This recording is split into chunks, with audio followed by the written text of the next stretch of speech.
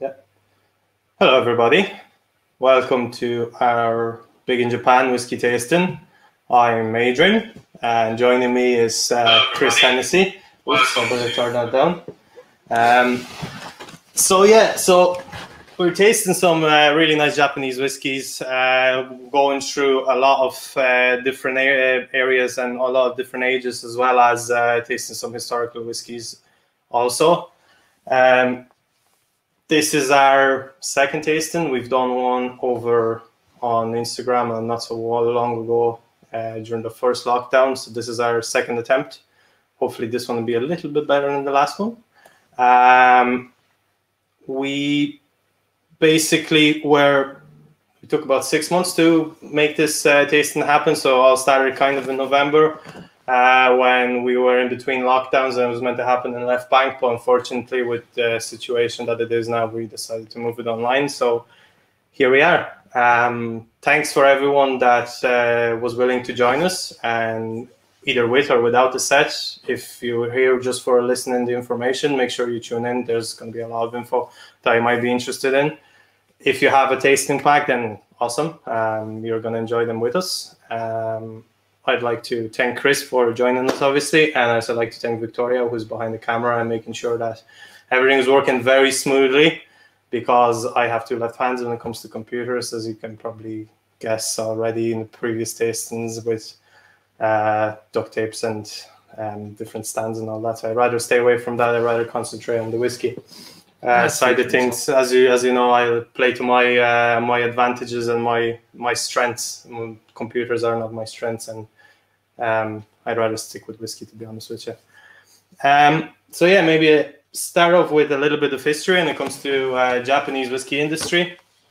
Um, it's completely different to what you would expected with uh, any other uh, whiskey producing countries because uh, Japan wasn't really exposed to whiskey or, or alcohol production as such up until the late 19th century. And basically, the first exposure that Japanese people had with whiskey, they maybe had some other encounters uh, here and there, but not to the general populations as such. As the first ever um, encounter with whiskey was in 1853 when Commodore Matthew Perry arrived to city of Edo, which is now Tokyo, and he arrived with a few ships and basically invited himself into the port. Uh, wanted to establish a trade deal with Japan, which was at the time completely shut off and closed off to uh, all outside uh, influence. So much like North Korea is today, you can technically think of Japan back then in, in similar ways. And he was kind of the first uh, Westerner to arrive in Japan in those times. So it was a big, uh, a, a, big thing happening in Japan at the time. And um, he wanted to establish a, a, trade route between America and uh, Japan. Uh, Japanese uh, people really didn't want to be involved in that way because um, they were worried that the Western powers are going to overrule and overtake the country. Uh, like it happened with the opium wars in China and Britain. So they wanted to avoid that as much as they could. So what they said was they they let him into the port because they knew that their defenses, uh, naval defenses, weren't strong enough in Edo at the time. So they said they're gonna play on time, invite him in, accept his letter from the president, and then give him an an answer when he'd be back the next time. He said he'd be back in, in a year, but he tricked him as well because he knew that this is what might happen. So he instead of arriving in a year Later, he arrived six months later with double or even triple the amount of ships. So they had no uh, way of defending themselves once again. So they had no choice but signing the treaty and open into the West. Uh, after that, more powers came over and decided, started to set up their own little ports uh, that were really unfavorable to the Japanese people. And the shogunate, which was at the time under power in Japan, uh, had loads of issues with that. And there was some uh, feuds and disputes within internally in the country.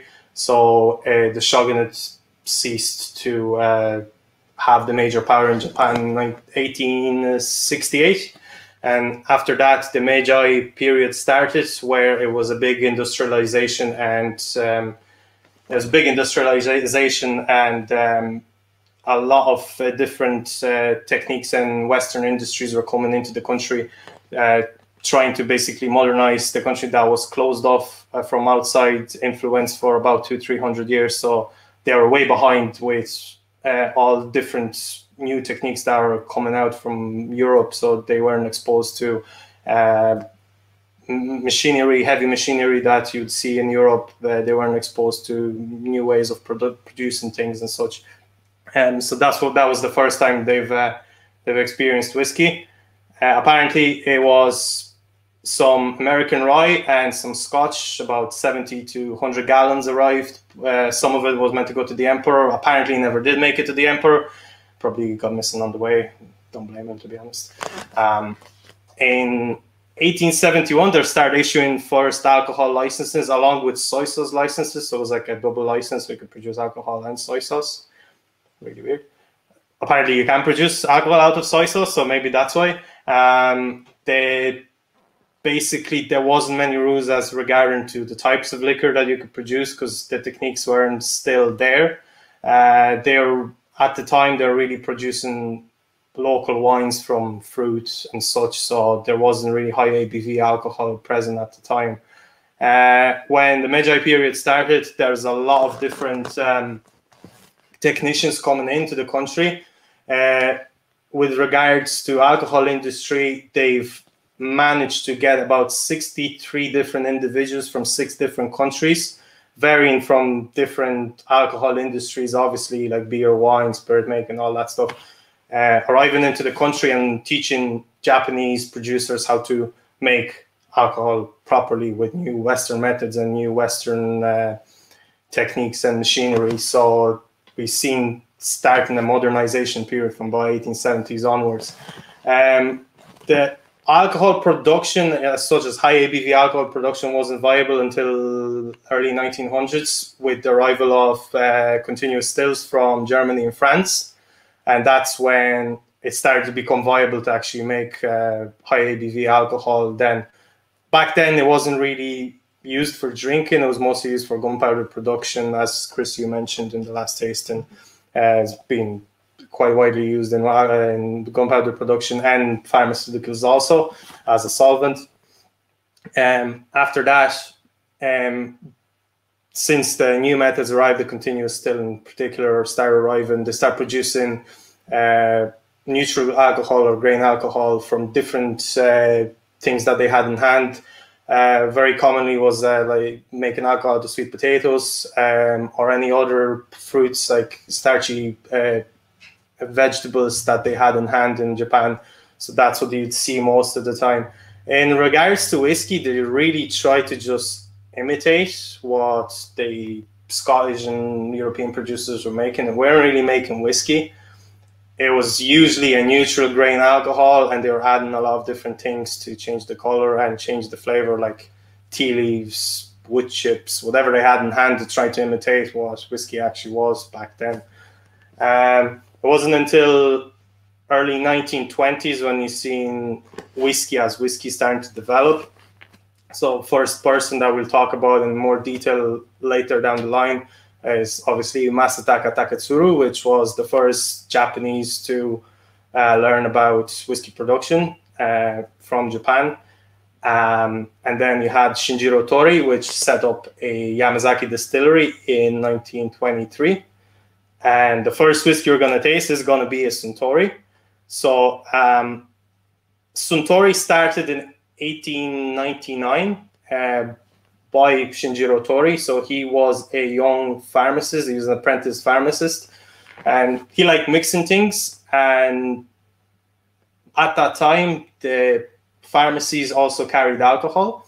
So he did experience with mixing alcohol, especially wines at the time, uh, as uh, any export wines that they would get from either Spain, France, or whatever weren't really palatable for Japanese uh, consumers because they tended to prefer sweet wines whereas uh, wines from Spain or France weren't really that sweet. They are more bitter and more sour. Uh, like, for example, trying to compare port wine with regular wine, they're more used to kind of a sweeter style port wine rather than a regular uh, red wine. So he was plan, plan, planning a lot, a lot with uh, different wines and he was mixing a lot of different wines in the shop while he was uh, uh, apprenticing there. And then decided to open his own shop. And at the time, he was selling canned food and some wines. And he met a guy from Spain that was living in uh, in Kobe at the time uh, by the name of Sayes, and he showed him world of Spanish wines, and he he loved the wines, but the consumers didn't, and he had a problem of actually shifting them from the shop. So what he decided was. After visiting him a few times, he tried the port wine for the first time and he really liked it. And he thought that Japanese consumers would really like it too. Um, so he decided to start um, mixing Spanish wines that didn't sell, adding some sweetener, putting in the bottle, and selling it like that. And he was selling it as a Japanese port wine. Uh, very successful. Uh, his first attempt he wasn't really too happy with, but it sold out uh, very well. Uh, but he decided then to go on and do another blend, and he called it the Akadama port wine, which went on then to basically fund the whiskey operation that he was planning to open. Um, when uh, the Akadama port wine was successful, uh, the funds that he made out of the wine were put into the distillery. And 1923, a, a building of the distillery started. Uh, it he chose the location of Yamazaki, which is was was at the time a small village right bang on in between uh, Kyoto and Osaka, so two big cities.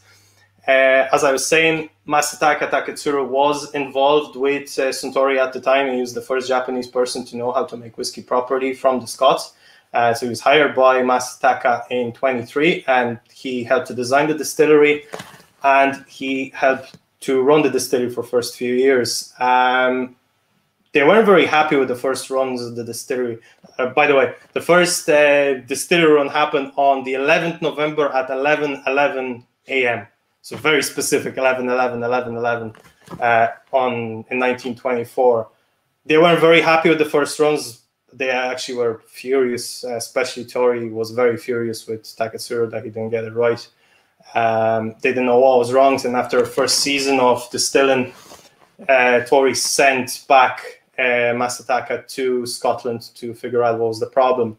And at the time, he visits uh, visited Hazelburn Distillery, which is closed down now. I think closed down in 25, not so long after Masataka came back uh, from Scotland. And they said that the problems were very likely to his poor kilning or drying off the grains and bad control of the temperature of the distillation. And that was because at the time they were using uh, coal fires, they like direct coal fires under the stills. So it was very hard to control the temperature and that was the biggest problem. Um, in 1929, they released their first whiskey, which was called the Shirofuda, and Shirofuda basically means white label, and later on it was changed to white label. It was a huge flop. No one liked it. They couldn't sell it.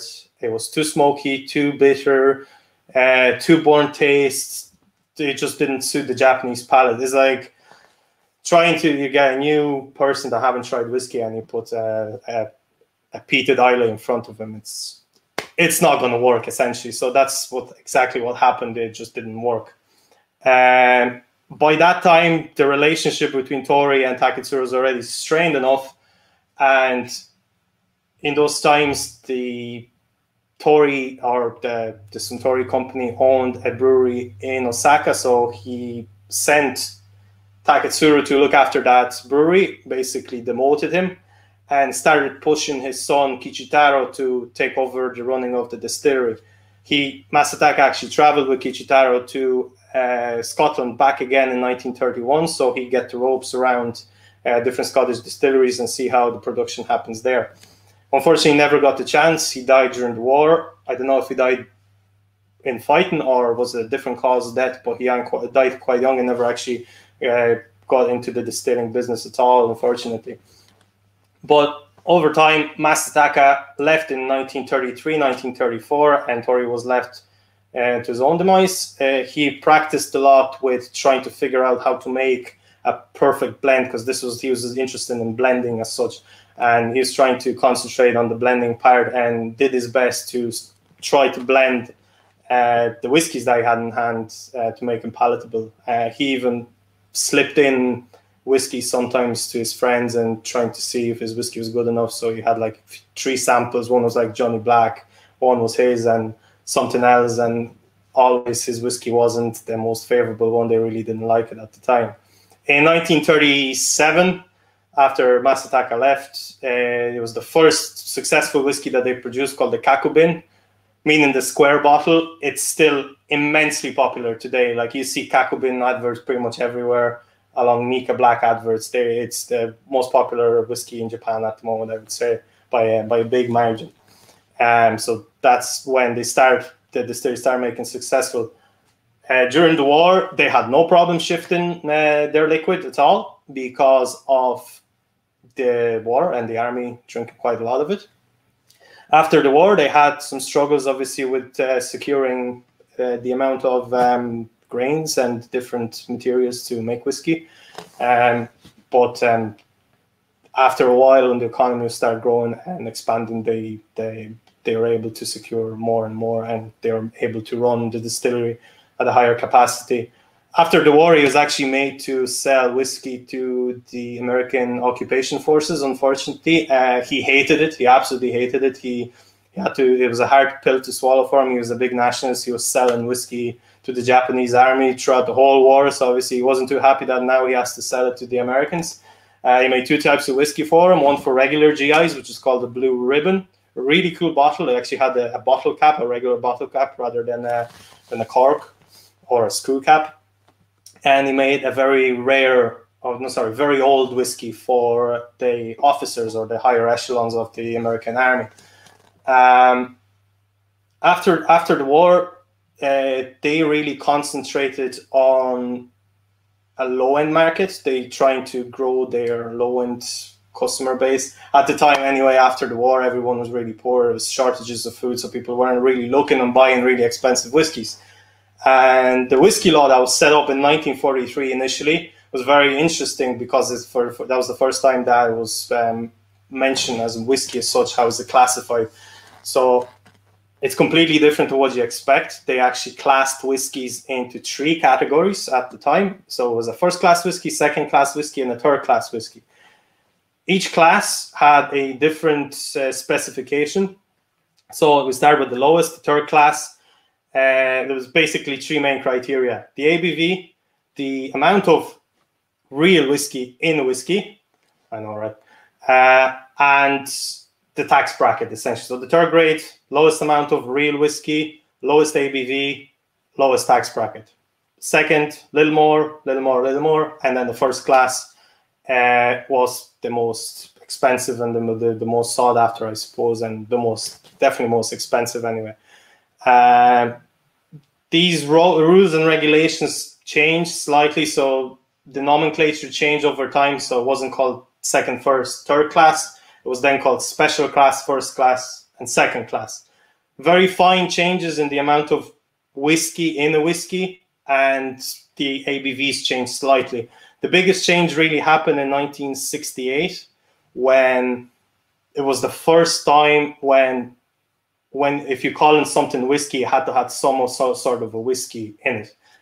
Up until then, uh, a third class or a second class later on called didn't have to have any whiskey at all. It could it could it has to it had to have a maximum of five percent of malted whiskey in it in the blend. Rest could be absolutely anything. Could be blended alcohol, whatever you want, pond water. Didn't matter. Uh, they could add anything they, they wanted really. Um, after 1968, that changed. The minimum requirement for the, the second class whiskey was 5% and went up as far as 14%. So it had to be in between that bracket of the actual whiskey being in the bottle.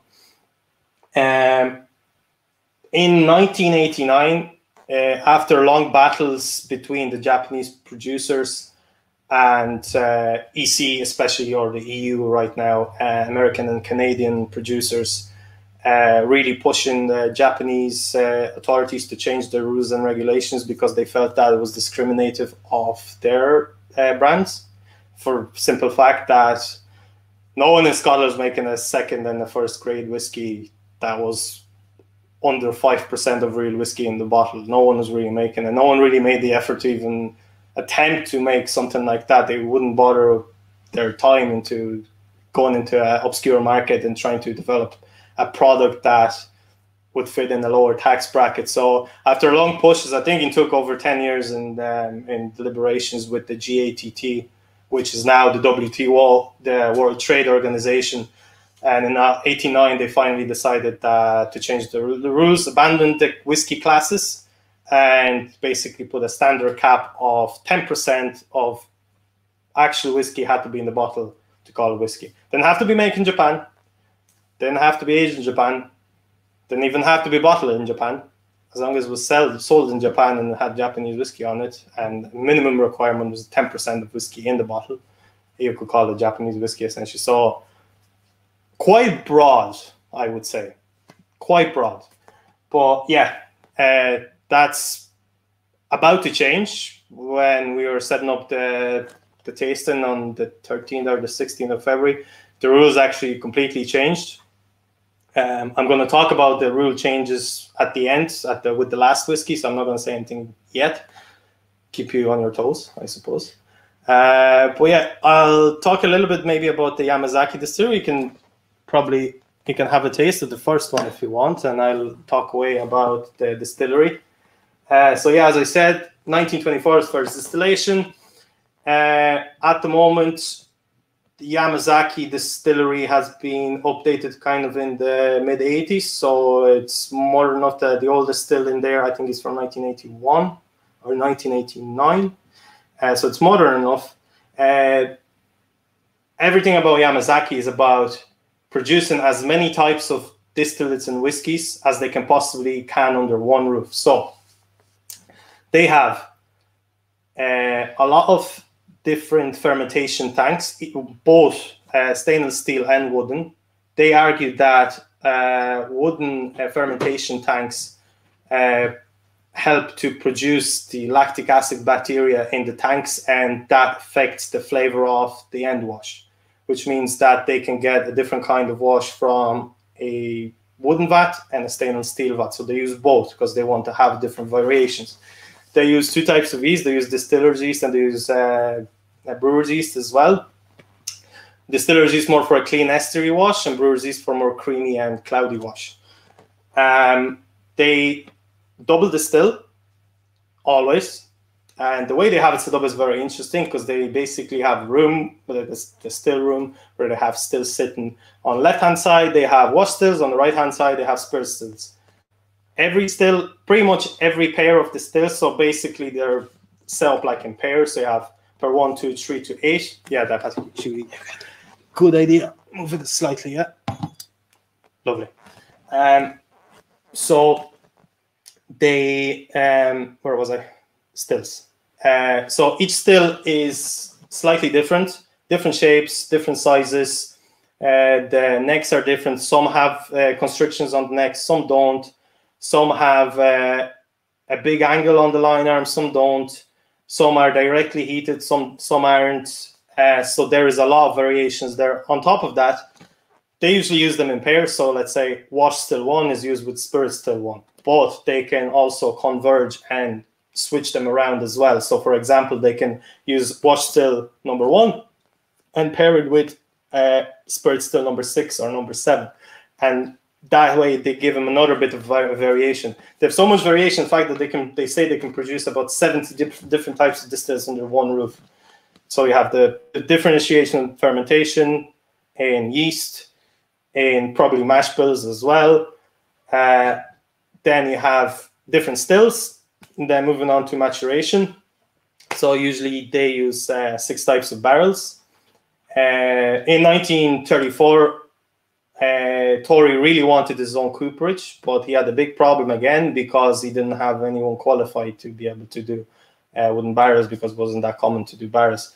But what was common was making uh, wooden tubs. So it is a, a sealed container made out of wood. So he decided to contact a guy named I'm really sorry. I'm going to butcher this name. Uh, by the way, I'm really sorry because I'm probably butchering a lot of names. Um, my Japanese is not that great. Used to be better. Um, by the name of Jinojo Tateyama. Good attempt. Uh, We'll and yeah. and he was he was a, a wooden tub maker and basically had no idea how to make uh, barrels. He made tubs, and he was self-taught. Essentially, what he done was he took the barrels, dismantled them, looked at the way stays were done and how the, the rings were put together and everything, and he basically learned from dismantling casks and putting them back together. And then he passed on his knowledge to his son, and his son passed on knowledge to his son, and now the third generation of the Tateyama family is looking after the cooperage in Yamazaki. Really cool. Like, I mean, learning something off by just dismantling things and just figuring out things by yourself, like that's that's pretty hardcore, I have to say. Um, but yeah, anyway, maturation they use about uh, most of the time they use about six different types of casks. So they uh, they use 480 liter puncheons, which they make by themselves on site uh, from American white oak. They do oversized hogsheads, which are made from dismantled bourbon barrels and just put together into bigger size. I think they're about 230, 250 liter size. Uh, that the ones that they use, obviously ex bourbon barrels, since they're part of Beam Suntory now. Obviously, Jim Beam has given them shit tons that they have don't have to really worry about the shortages of that anytime soon, anyway. And they have also contacts with well, they actually own a chateau in France called Chateau La- Larane. Sorry, French people.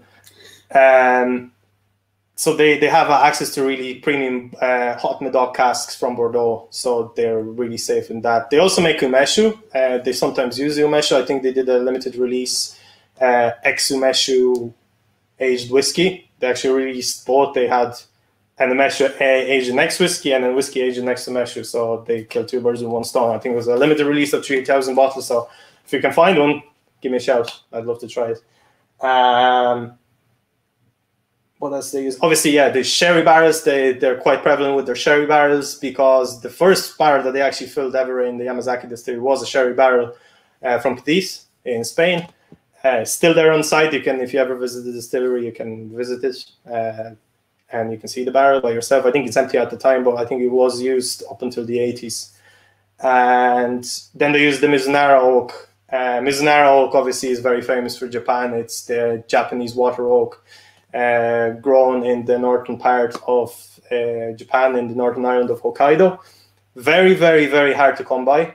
I would say that some Irish producers would know what I'm talking about. They produce about 300 casks a year uh, due to the regulations that are put on the cutting down of the forests in Hokkaido. They want to preserve it as much as they can. So the amount of trees that they cut down a year is very limited, very low. So there's about only 300 casks a year being produced. 1% of that, of overall casks that Suntory uses in Yamazaki is actually uh, Mizunara, so very, very little of it. But what Japanese producers say that water oak is number one, very hard to work with. Number two, it's very porous. Not, it's very much more porous than any other uh, oak type, uh, but it gives a fantastic flavor. Uh, Japanese the producers argued that a oak is a, a longer aging barrel, so you do have to keep the juice in the barrel for much longer to get the desired effect. They say 20 years is the cap time, so it's quite long. Obviously, they were used for finishes, especially we've seen it in um, in the Jap in the Irish whiskey side of it. Writers' Tears had one, and Glendalough had one. I haven't tasted them, so I couldn't tell you if they're nice or not. But I think you've tasted. Writers' Tears is fantastic. Glendalough's really nice. That one in two people seem to like the Glendalough. Nearly everyone likes the Writers' Tears. Nearly everyone likes the Writers' Tears. I have to get a bottle actually. They were they were available in the airport, weren't they? Yeah, they had two different casks in the airport, and now there's one that's general release, so you should be able to pick them Oh, okay. in the shops. Okay, very good. Um, so yeah, um, the way they have it set up as well with maturation, they have three different maturation sites. So they have uh, mat- obviously they mature at the Yamazaki, but they only mature about fifteen percent there because of the fact that they're worried about uh, losing their stock, and I'll tell you why in a second. They have a second maturation site, in, which is called the Omi, and that's where majority of the barrels are. And they have a third um, maturation site at the second distillery called Hakushu and they're using three sites and they try to separate the liquid as much as they can between the three sites and that's because of constant danger of natural disasters in japan obviously tsunamis earthquakes whatnot what they do is they try to separate out. So if a natural decides that the disaster strikes at some point, they don't lose all the liquid. If the damage is Suntory uh, or the sorry the Yamazaki distillery, they don't lose all of the stock that was produced there. So it's a precaution. Uh, all the barrels are always stored on their side there. In Yamazaki, they use a dunnage style um, uh, aging uh, facility, so it's just barrels stuck too high on top of each other and then wooden rail in between them just to keep them solid. And in the other two sides, they use a racking system made out of stainless steel, so it's very secure when it comes to earthquakes, and they're a little bit higher, five or six uh, barrels high. Um, anything else I want to say? No, I think that's all. I just have the names here. Yeah, no, I think we get into the whiskey. So this is made in early 1970s. And so Suntory old started in nine, well the first time it was announced was 1940 but obviously that wasn't a really good time to release a premium whiskey because it was the middle of the war. So he uh, mr Torii pushed it back to 1950 but the design of the the label and the bottle stayed the same as it was in 1940 it was advertised as the first premium whiskey in japan I don't know if that's the case. I couldn't find any other premium whiskies that released at the time. And the first specs of this whiskey were very impressive. The the liquid that was in it was between 8 to 15 years old, all aged in sherry. Obviously, since it was a it was classed as a special class whiskey, the minimum the minimum content for this had to be 27% of real whiskey in the bottle. I would say it's a little bit more obviously he could cut it down, but like I mean, if we, if you're presenting as a premium product, you really don't want to uh, dilute down your uh, your your premium whiskey with something inferior than that. Um, I know that I know that this is from early 70s because the name slightly changed. Uh, used to say instead of saying Suntory Limited, they used to say Kotobukiya, which was the previous name of the company, and changed later to Suntory. Um, the up until 1971, uh, Suntory actually grew some of their own barley and malted their own barley and uh, was sourcing the barley from mainly from Japan because the import quotas on products outside of Europe was uh, quite high, so they weren't able to do that. wasn't making financial sense. But after 1971, that changed, which means that uh, pretty much they stopped all the production of grain. They're just buying in bulk from UK. It was just much easier, much cheaper and they, they scrapped all that after 1971. This is early 70s, so we'd say that if it's if it if it goes by the same rules as the first uh, very old Suntory, which was eight to 15 years old, this was probably distilled in sometime in the 60s, which means that the the grain that was here uh, was likely Japanese, likely produced by Suntory, likely malted by Suntory uh, by their own hands. So this is probably one of the last runs of the whiskey that was made from pretty much start to finish by by Suntory. And we know that it was coming out just from one distillery. They have three distilleries, but since it was an early 70s bottle, we know that this is made in Yamazaki only. It wasn't made in any of the other distilleries because they didn't exist at the time. So, um, anything else? Yeah, well, that's it. Let's taste. So, like you get a lot of fusel oils, I think. Um, you can see a little bit kind of like date sweetness. Yes, like um, I had a I ever soaked um, raisins or dates. Raisins, yes, that's that's what I was looking for. Um, yeah, I was getting raisins at the start, I'm gonna say there's there's one flavor that was jumping out at me. I'm not gonna say just it because I think I'm gonna ruin it for everyone. So I'm gonna say that at the end after moving on to the next whiskey because um, I think it will uh, it will turn some heads. So I'm not gonna say it just yet. Like like we had with the toasted pineapple mm. and the black black pits. I don't want to say it just yet because it will might affect you looking at this whiskey. There's not a lot of spice on the actual initial start itself, but as soon as it hits the roof of your mouth, spice kind of starts to come alive. It's it's not exactly cracked black pepper or white pepper. What we're kind of used to. It's it's really strange, really prickly. Yeah, um, like I'm like huge amount of sweetness. I like obviously the, the I think the sherry cask here is is uh, quite visible in this, um, and you can really you can really sense it. Like again, raisins and prunes and like mixed with maybe bitter chocolate, like a little bitter chocolate note or something along those lines. Uh, what you guys think? Um, but yeah, it's uh, it's very interesting. Uh, and again, as I was saying, it's something that um, it's made in the old Yamazaki distillery before they did any work in rejuvenating it in the 80s. Before they were using grain from UK. Uh, before they stopped malting their own grain, so it really is um, a, a, piece of history that we're tasting. And I was very lucky that this was the, the latest uh, entrant to to the to the lineup. Uh, I managed to find it early January. I was very, very lucky to find it, and uh, I had to include it. Um, it it's like I. You'd think Japanese whiskey be more smoky, but this is much, much closer, I think, to an Irish style of whiskey, like a really nice, nice blended single malt, mm. more than you'd get like a, a peated Scotch, which they've really, mm. you know, well, that's it. There's a ton of dryness on the on the finish itself, but it's not like whispers of peat or whispers of smoke in any way. It's not even char or anything like that. But there is a lot of dryness, and yeah, it's that sherry cask up front that's not cloyingly sweet, but it, it really rounds off everything.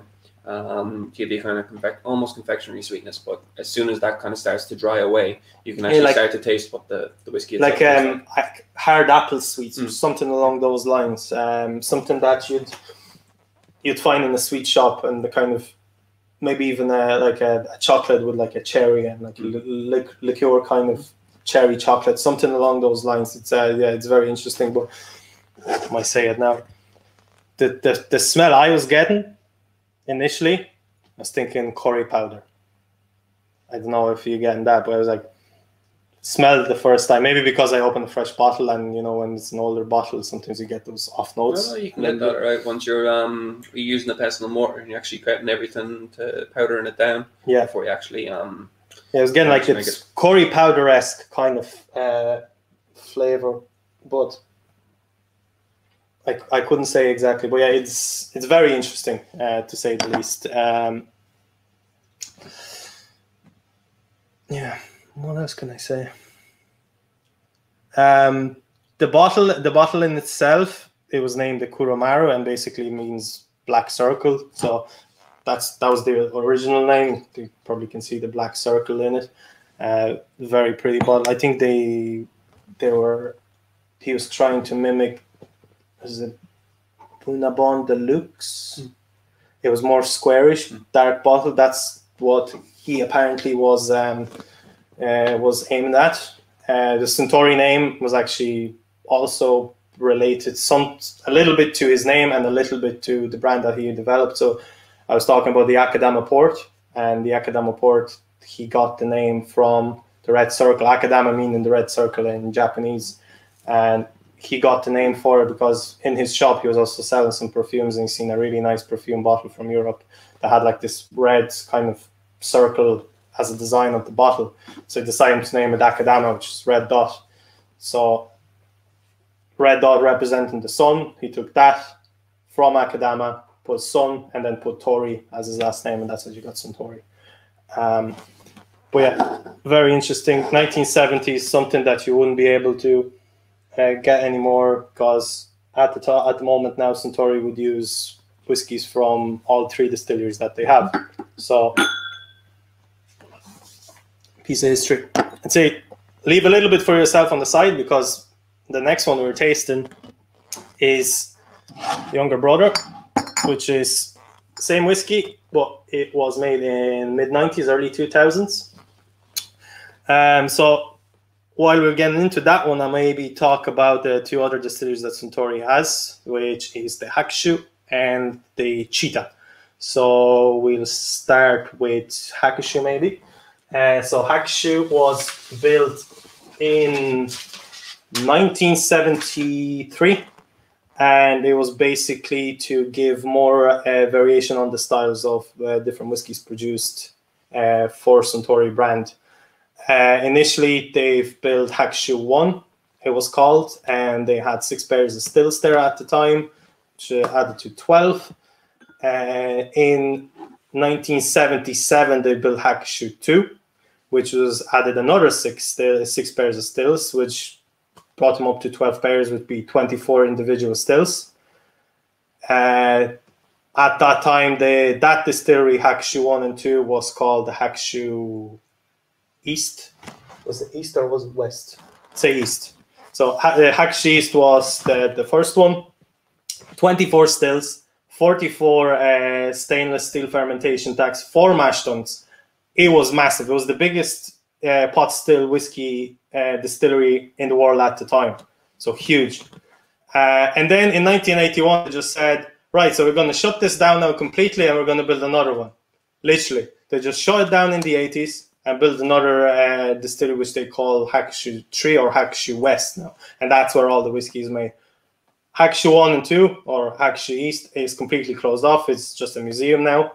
And the reason they closed it down was uh, basically two things. Uh, the first distillery had 24 stills. Each one of them was exactly the same. Both wash stills and spirit stills are exactly the same. And the idea was just to produce more of the same. And that was in the time when there was a huge whiskey boom in the 70s. So obviously they needed to uh, make huge amount of uh, spirit very quickly. So they decided just to concentrate on the volume. And then in the 80s, they just think, thought, hmm, maybe it's not such a good idea. We'd like to go more into the premium category but we don't have a distillery for it anymore because it's all kind of focused on like producing volume. So they just say, okay, we'll scrap that one now and we'll build another one. And they build Hakushu three, and they focused on having different types of stills, just just like you had in Yamazaki. They wanted to, to make sure that there's different types of stills, different um, methods used in, in different ways to make sure that they have a bigger variety of spirits produced. Um, they only use wooden fermentation tanks there. Uh, the distillery in itself is at the at the foot of uh, Mount Kaikomagatake. Just got that right. I was working on that one in my sleep. Uh, it's 700 meters above the sea level, so it's quite high up. It's in a beautiful lush forest. Uh, the company itself actually bought huge amounts of land, but they they're not using probably even a fifth of it uh, because they want to keep the natural beauty and the na- natural serenity of the place as it was. They really don't want to damage the natural environment around the distillery. In fact, they they have actually set up a bird sanctuary on the birds that are flying up and down uh, to have a safe haven there uh, and to replenish whatever they have to before their next flight or next journey. Uh, so they do look after the environment quite a lot, and they they're making sure that uh, everything is kept as it was before they left, before they started working there. Uh, the water there is extremely pure, and by extremely pure, I mean very pure. Uh, it has only 30 milligrams of dissolved solids in the water. So, for example, your bottle of Pellegrino should be considered a very good drinking water would have 600 260 milligrams of salt different solids so like you know your calcium your potassium all that stuff that you'd like to have in water but not necessarily maybe in whiskey production you kind of want to have as little as possible so you have a clean water. And it, it's so clean in fact that they actually have a bottling facility and they bottle water there called the Tennensui and it's the most popular uh, water in Japan. So if you ever go to Japan and you're uh, you need to add a little bit of water to your whiskey make sure you use Tennensui because it is water that's also used to make whiskey. So yeah, you'll have a nice pair. Um, uh, yeah, so they have wooden fermentation tanks. They also have different types of stills. They also have eight pairs of stills. Again, they use it the same way as Yamazaki. Usually they use it concurrently. Wash still one, spirit still one, but they can do variations also if uh, they argue that wooden fermentation tanks are better for the climate that the Hakushu distillery is there because it's higher.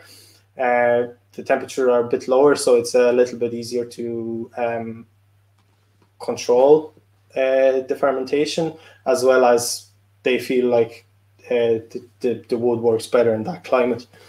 Um, they use Oregon Oregon pine, sorry, or um, Douglas fir for both in Yamazaki and Hakushu.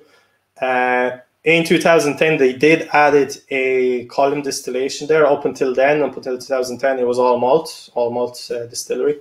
But they did add a continuous still uh, in 2010 and started distilling there in 2013. I believe they did release a single grain whiskey from Hakushu, but I mean, probably was very limited and probably very hard to come by. So I wouldn't, I wouldn't chance of getting a bottle anytime soon. But it is there, so they are playing around uh, with different liquids.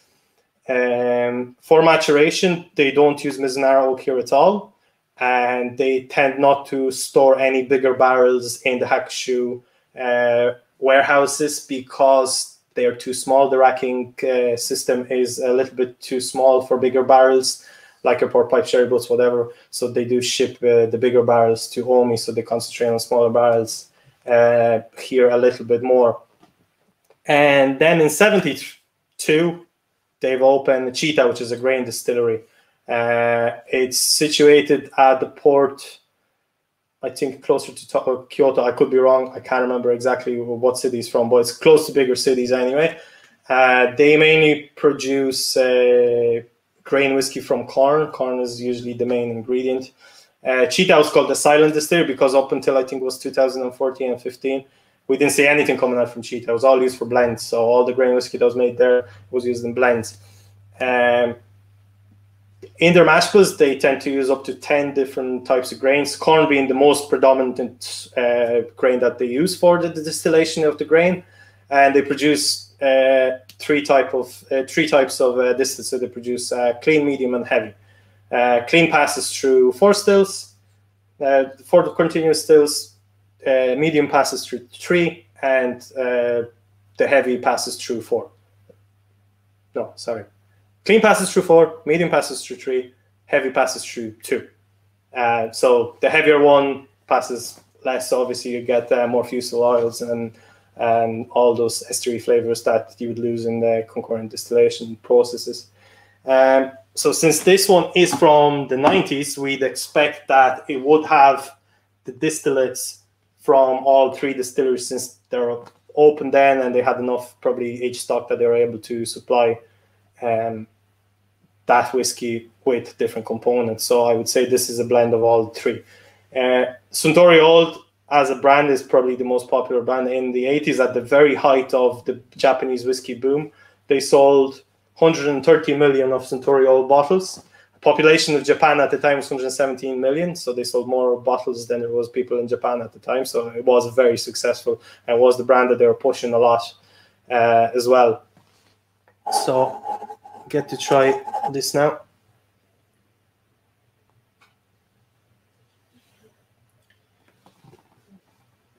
You have Jim in there with nose much lighter, warm hay and grass, better balance than number one for him, and uh, number one harsh and very light on the end. Yeah, so the the the, the prickliness it's uh, that you were talking about in the first one mm-hmm. is um, is different now. It's it has more white pepper kind of mm. spice to it. It is a little bit more perfumey on the nose, that's for sure. That's probably the the grain component and playing the the bigger part here, I'd say. But there is some sweetness to it as well. On top of it. By it compared to the first one, first one, as we're thinking, is all sherry. That feels like it's being pulled apart from more than one type of barrel, more than one type of yeah. distillate. Yeah. And like there is a couple of things at play trying to have a, a scream and a shout and let you know that they're there. As soon as there's sweetness, it's kind of pulling and drying. As soon as it starts to dry, there's a bit of sweetness again. And there is a there's an astringency to it, but it's not like extremely off putting. There's just kind of like a, a hint of an off note on all the sweetness kind of like a slight bitter note right at the end. Yeah, when you, for instance, as we are saying before, when you're eating um, the the first one, you get that kind of raisin sweetness. Yeah. With this, uh, if you've ever like soaked raisins in alcohol, when you pull the sweetness out, it starts to get bitter. You've almost gone too far to the point where you've pulled away all the raisin flavor. With this, is kind of like you've still got that that cherry, date, and raisin, but the alcohol is kind of pulling it out like it's a second or 3rd mm-hmm. Yeah, absolutely. But overall, I mean, in color, they got it bang on. Really, like I mean, it's a, the twenty year difference in the color are pretty much the same. Like I mean, I compared it a few times in the previous times I would take or tasting them for, to take notes, and I was very impressed that like the the DNA in itself is there. Obviously, this is more malt. This is probably more grain than malt, but the DNA, I think it's it's still there. Obviously, it did, did change quite a bit but the the general idea I think behind Suntory i- is still there. The malt components are to say nine to ten years old from what Suntory have emailed me back. So the malt component that's in it is about nine to ten years old. Obviously, I would imagine that there is some sort of a grain component in this as well. Like it is much much lighter. Like you compare and contrast the two together, like much lighter, much uh, much smoother. Um, they actually have the Suntory all of those times. They actually had two different types. So this is rich, rich and mellow. They also had uh, smooth and mild. Yeah, smooth and mild. I'd like to. I'd like to taste the two side by side as well. I couldn't find the, the third bottle. I think again three bottles of Suntory and the same tasting. Um, would be a little bit different. Uh, yeah, so people saying that the notes are that number two, much lighter. Uh, That's Jim. Jimmy. Yeah, so as you say, more more heavier, more fusel oils, uh, more more punch of the sherry. This is much lighter, much kind of easy going blend. Now, bear in mind that uh, Japanese consumers do usually cut their whiskeys with water, or they drink it in a different way. They tend not to drink whiskey on their own. So, I would recommend to maybe try some of them with a little bit of water and see see how that changes your perception of the whiskey. Because like i mean they were designed to be mixed with water. It is very common for japanese uh, people to drink it with water. It's called actually the mizuwari which is basically in japanese means cut with water. So do play around with that a bit of water if you want to. If you don't it's perfectly fine. It's your samples. You do whatever you want with them to be honest. But yeah um um Chita the, the grain distillery in itself actually was a, a 50-50 split uh, a distillery so 50% of the funds were placed by Suntory and 50% was posted by a company called Zen-Noh and they're kind of an agriculture uh, company that deals with uh, making all sorts of foodstuffs so they they own part of it. It was actually up until I think 2019 the Chita was actually not called Suntory Chita, it was called Sun Grain Chita. Now it's changed to Suntory Chita. Uh, it's not open to the public. The other two distilleries are open to the public. Uh, if you ever be be uh, going through Japan, definitely recommend to go to at least one of them. They're both beautiful. They're both fantastic. Uh, they're both something really unique to it. Um, both are in like this surreal climate, and if you all look at any of the pictures, they really are fantastic. I was taking all the virtual tours when I was doing my research, so kind of been there, but not really. You know, um, whatever you can do through a computer. But yeah, I've I've transport transported myself to Japan for at least a little while and visited the distilleries there. But yeah, they they are fantastic. If you ever get a chance, I'd love to visit them myself. They they look unbelievable. Completely different um, way of looking at things than in here, I suppose. And by the way, any company that you see here, like we're tasting whiskies from four companies, but we have seven pours. It's really hard to say, oh, Nikka is Nikka and then Suntory is Suntory because like one company will have three distilleries or two distilleries, and it's really hard to say that one company makes one whiskey because that's not true. Like each each of those distilleries have their own little style and their own different ways of making things happen. So talking about Suntory and talking about Nikka, you really are talking about a big percentage of the whiskey industry in Japan because they they own quite majority of the distilleries out there. Obviously, there are some others. There, there's more and more popping out left, right, and center right now, as it is in Ireland and Scotland and whatnot. So uh, probably see quite a lot more coming out from the, J- Japan in the near future. Uh, yeah, we move on to the number three now. I think. Yeah, like as you were saying with Nikka, the tasting that we did two years ago, one of the ambassadors, Mm. she was saying like um the this, between like um the super malt, the Nikka from the barrel, and a few different ones, they're using the advantage of all three distilleries to basically drop everything to NAS or non-A statement. But because you have such variety between the three, they're purely down to blending. Their blending techniques are Exactly. fantastic. Um, like Yeah. you, you were saying before about the the Hakushu grain, the Nikka Coffey grain, and the Nikka Coffey malt, they would be. If they were in That's what they're kind of aiming at? If, Okay. if they were in um, if they're in Ireland, they wouldn't be allowed to call everything as is. because the super malt is basically pulling malt from different distilleries. Yeah. The Nikka from the barrel is not a cask strength, which we all thought it was. It's actually pulling uh, different barrels from the, the three different or two two out of the three different distilleries and bringing it all down to a constant ABV. Yeah. that's higher than normal. That's why they're saying from barrel because it's it's their way of saying almost cask strength. Um, but yeah, they're they're playing off the fact that they have more than one resource and more than one place to pull from. And as you're going to go into later, when it comes to other distilleries from other countries, You- and the, the You would yeah, exactly see the same thing, Yeah. and it is quite common. Mhm. Japanese producers don't like sharing things; they're keeping things to themselves. Like in Scotland, you see barrels being swapped out all the time, and they have no problem with it whatsoever. That's how they do it there. Japan, no, no, they produce everything by themselves. They want to have as wide a variety of, of whiskies produced in house as possible, and that's how then they can produce really spectacular whiskey that won many awards and that's down to their blending. Their blending is uh, second to none, probably one of the best things on the planet right now, and they, they really are very good at what they're doing. And they have the variety, they have the choice. They they are producing quite a lot of different styles, and you'll see that throughout when we're going along to tasting anyway. Okay, so we finished with Suntory. Uh, yeah, so they have three distilleries, a lot of liquid being produced. Yamazaki produces six million liters a year.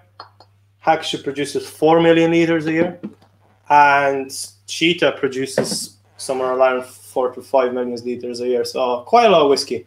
Obviously, right now is we're very low on the on the market right now because it's been basically dried out. But what happened was in early 2000s, for example, in Yamazaki, uh, the stills were actually running only once a week on Mondays in early 2000s. So you can see why the situation went from having loads of Japanese whiskey then having none in a very quick, short period of time. Um, that's because they've basically scaled down their operations from the 90s up until the early 2000s and then picked it back up.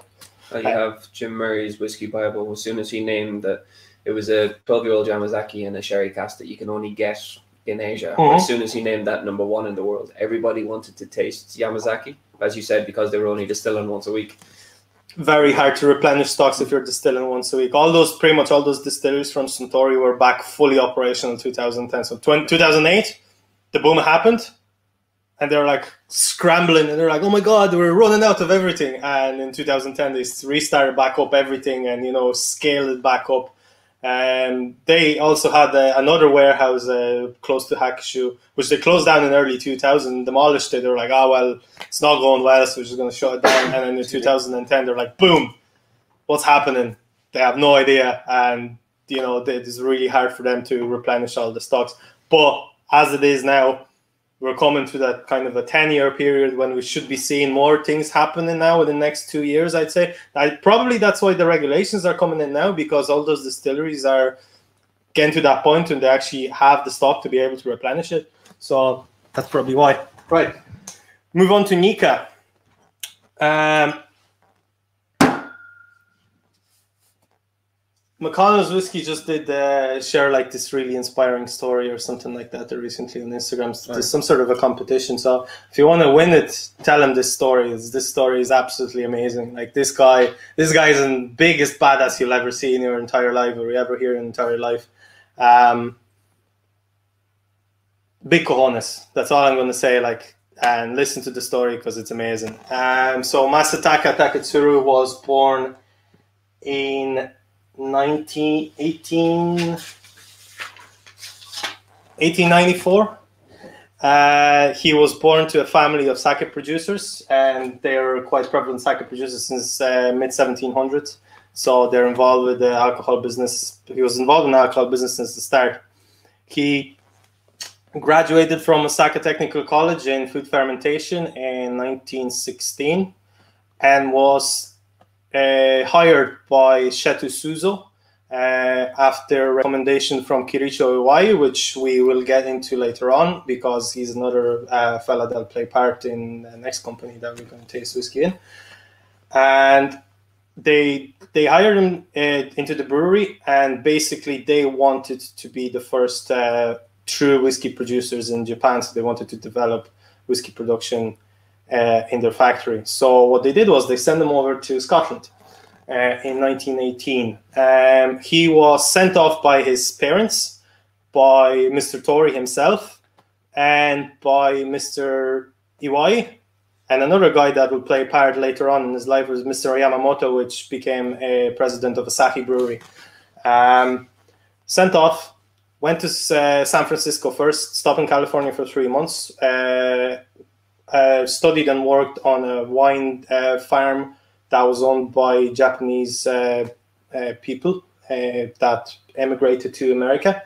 Then went on to Scotland and started studying there. So he enrolled in Glasgow University and took organic chemistry classes. And he initially wanted to go there, obviously, to study whiskey making, and he wanted to uh, study under Mr. What is his name? Metal. Metal something, anyway. And this guy wrote a book beforehand, and Mr. Taketsuru uh, wrote, uh, read, the book and he was interested in his take on distillation. It's all about distillation processes and how to make whiskey and other spirits and whatnot. So he wanted to study under the guy that wrote, uh, wrote the book. Unfortunately, he couldn't afford it because uh, his fees were quite exuberant.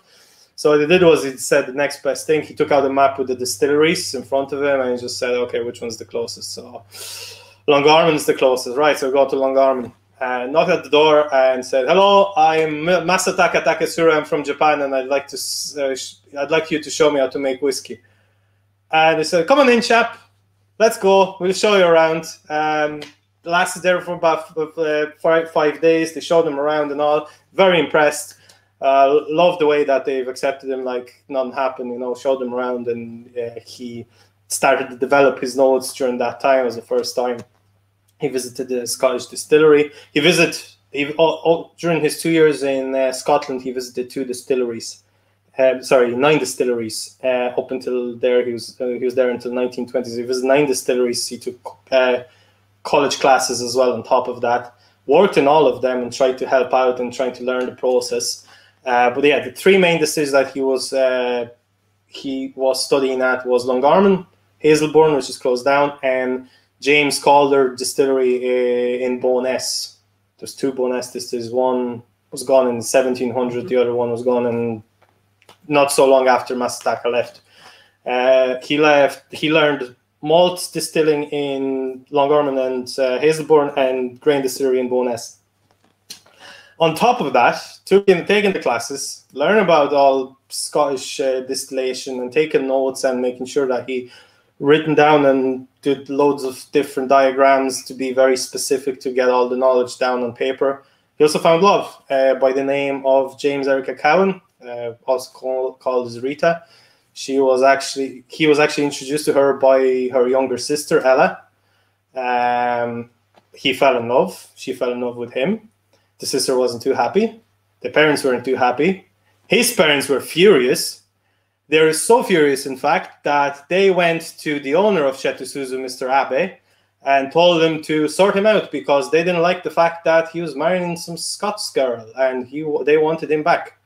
So Mr. Abe packed his uh, bag, went to Scotland, trying to convince uh, Mr. Taketsuru to change his mind. Uh, but he had his own personal uh, stake in it as well because he had a, a daughter that he hoped that Taketsuru was going to marry when he was back. Didn't work out that way. Uh, so yeah, everyone's very furious. On top of the owner of the company he was working for and that paid for his trip, the the parents of uh, the girl, his own parents, uh, yeah, so he really didn't care. He said he said to Rita that he would happily stay in Scotland if she wants him to. But Rita said, "Look, I know you want to pursue your dream of producing whiskey in your country, and I'll happily travel with you." And she did. So, in 1920, they went back to uh, Japan, and he started then working. Uh, and when he was back, they they realized that Settsu Shuzo wasn't going to go ahead with um, whiskey production just after the war the situation with grains wasn't good. The company was a little bit struggling, so he departed the company after he was back.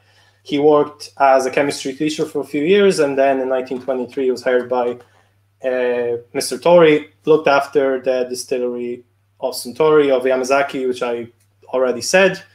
he left in 34 and went on ahead and tried to establish his own distillery. So from the get-go, he had a disagreement with uh, with Torii because he wanted to build it on the island of Hokkaido, which is in the north part. It's the northern island up north of Japan.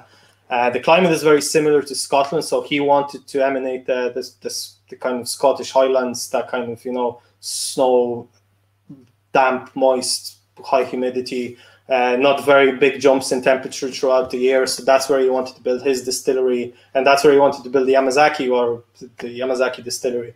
But Mr. Torii wanted somewhere closer to big ports, big cities where there's more happening, and um, sending whiskey was much easier than going by by sea and then you know hoping for the best that, that the ship didn't crash or there wasn't breakages or whatever. So he didn't want to build it there, but Taketsuru was very adamant. So it was like a battle between a businessman and an, and, a, and an artist. The businessman being the Torii and Taketsuru being the artist. He was looking at quality, where he was looking at more the business side of things, which is good. Like I mean, uh, I think both things are very important when you're making a brand like that, you know. Uh, but yeah, one one and the other were basically on the opposite side of the spectrum. So obviously their relationship didn't last that well. So after 10 years, he left. Uh, built a distillery uh, of Yoichi in 1934. Initially, he was making only apple juice uh, to fund his whiskey escapade. And the reason he went for apple juice was the fact that uh, Hokkaido was very uh, famous for producing apple juice. There's a lot of apple trees there, and it was a very common crop and very cheap crop. So he decided to uh, go with apple juice to fund his uh, operation. Very unsuccessful. Once again, uh, he had problem with the glue on the bottles; they were peeling off. Uh, after pouring apple juice into it, uh, it went cloudy after a few days, so consumers didn't really want to drink it. So I went all back. In fact, he actually didn't even know how to make apple juice initially. He bought a book on how to produce juices in 1931 when he visited uh, Scotland back with uh, Torii's son, Kichir- Kichirito. Um, so he got a book and he literally just read from the book and made it like that. Um, since there was uh, basically all the juice was sent back, he came up with an idea to distill it and make brandy out of it. That sold a little bit better, obviously. Uh, in 1936, he started distilling. Initially, he only had one still, so he did two runs in one still. So he did his his wash and then his spirit first, second uh, in the same still. Uh, during the war, obviously, the, there wasn't much of a problem selling things because the Japanese army was buying absolutely everything, so that wasn't much of an issue. Uh, after the war, when the whiskey classes were established, he really, really didn't want to do third or second or first class whiskey. He only wanted to concentrate on the special class, but after about a few months, uh, all the different shareholders of the company just basically knocked it out of his head, saying that you have to start making money, pal, otherwise we're not going to have this ship sailing for too long. So he went along with it. But he was very adamant on making sure that the whiskey in all the lower grades was at the maximum level so that the whiskey was of, uh, of the most premium quality that bear name Nikka. The Nikka name origin, originates from the original name of the company called the Dai Nippon Kaju, which means um, apple Japanese juice making factory, I think. And then it was just shortened down to Nikka in 1940s, I think. Um, so yeah, he was very adamant of doing the things the way he wanted it, and he made sure that with Yoichi as well. Uh, up until this day, Yoichi is probably, I think it's the only distillery, unless there's some very small distilleries, that uses direct coal fire under the stills. It's just like very uncommon. I think that Glendronach was the last distillery in Scotland that abandoned this practice. Um, still, they still do it till this day, which is just uh, absolutely absolutely unbelievable. I think. Um,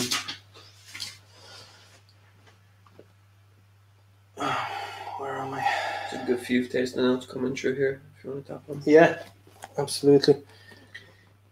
Right, Steve Rosford, he got hint of spice, dark fruits, Um, Brian the whiskey chaser is loving the apple and banana on the nose and confectionery sweetness for himself.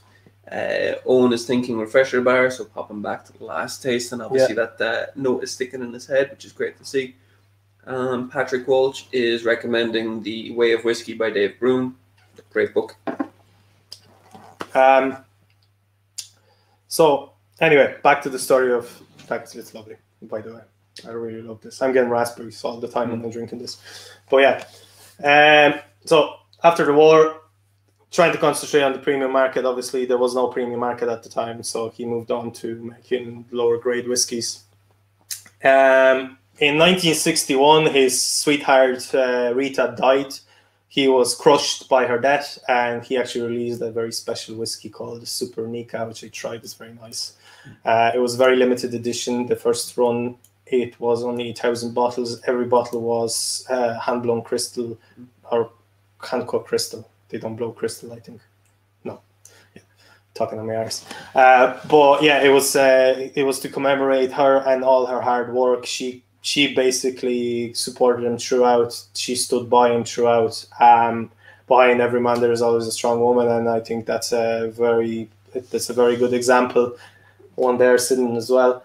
Um, but yeah, he he he really had to dedicate a lot to her because when they were struggling, she also did piano lessons and English lessons to kids around the place to fund the operation, and she stood by him ever since. You know, being a Scotswoman and traveling to Japan right before the war, like right in between the wars, like it must have been like crazy. Like you don't hear these things too often today. Like, and what about like 1920s? Like, I, it must have been like unbelievable to see something like that happen. And, and you know, um, I, I haven't heard a story like that. But anyway, in 1963, he decided to expand and he was in the search of a new site for a distillery.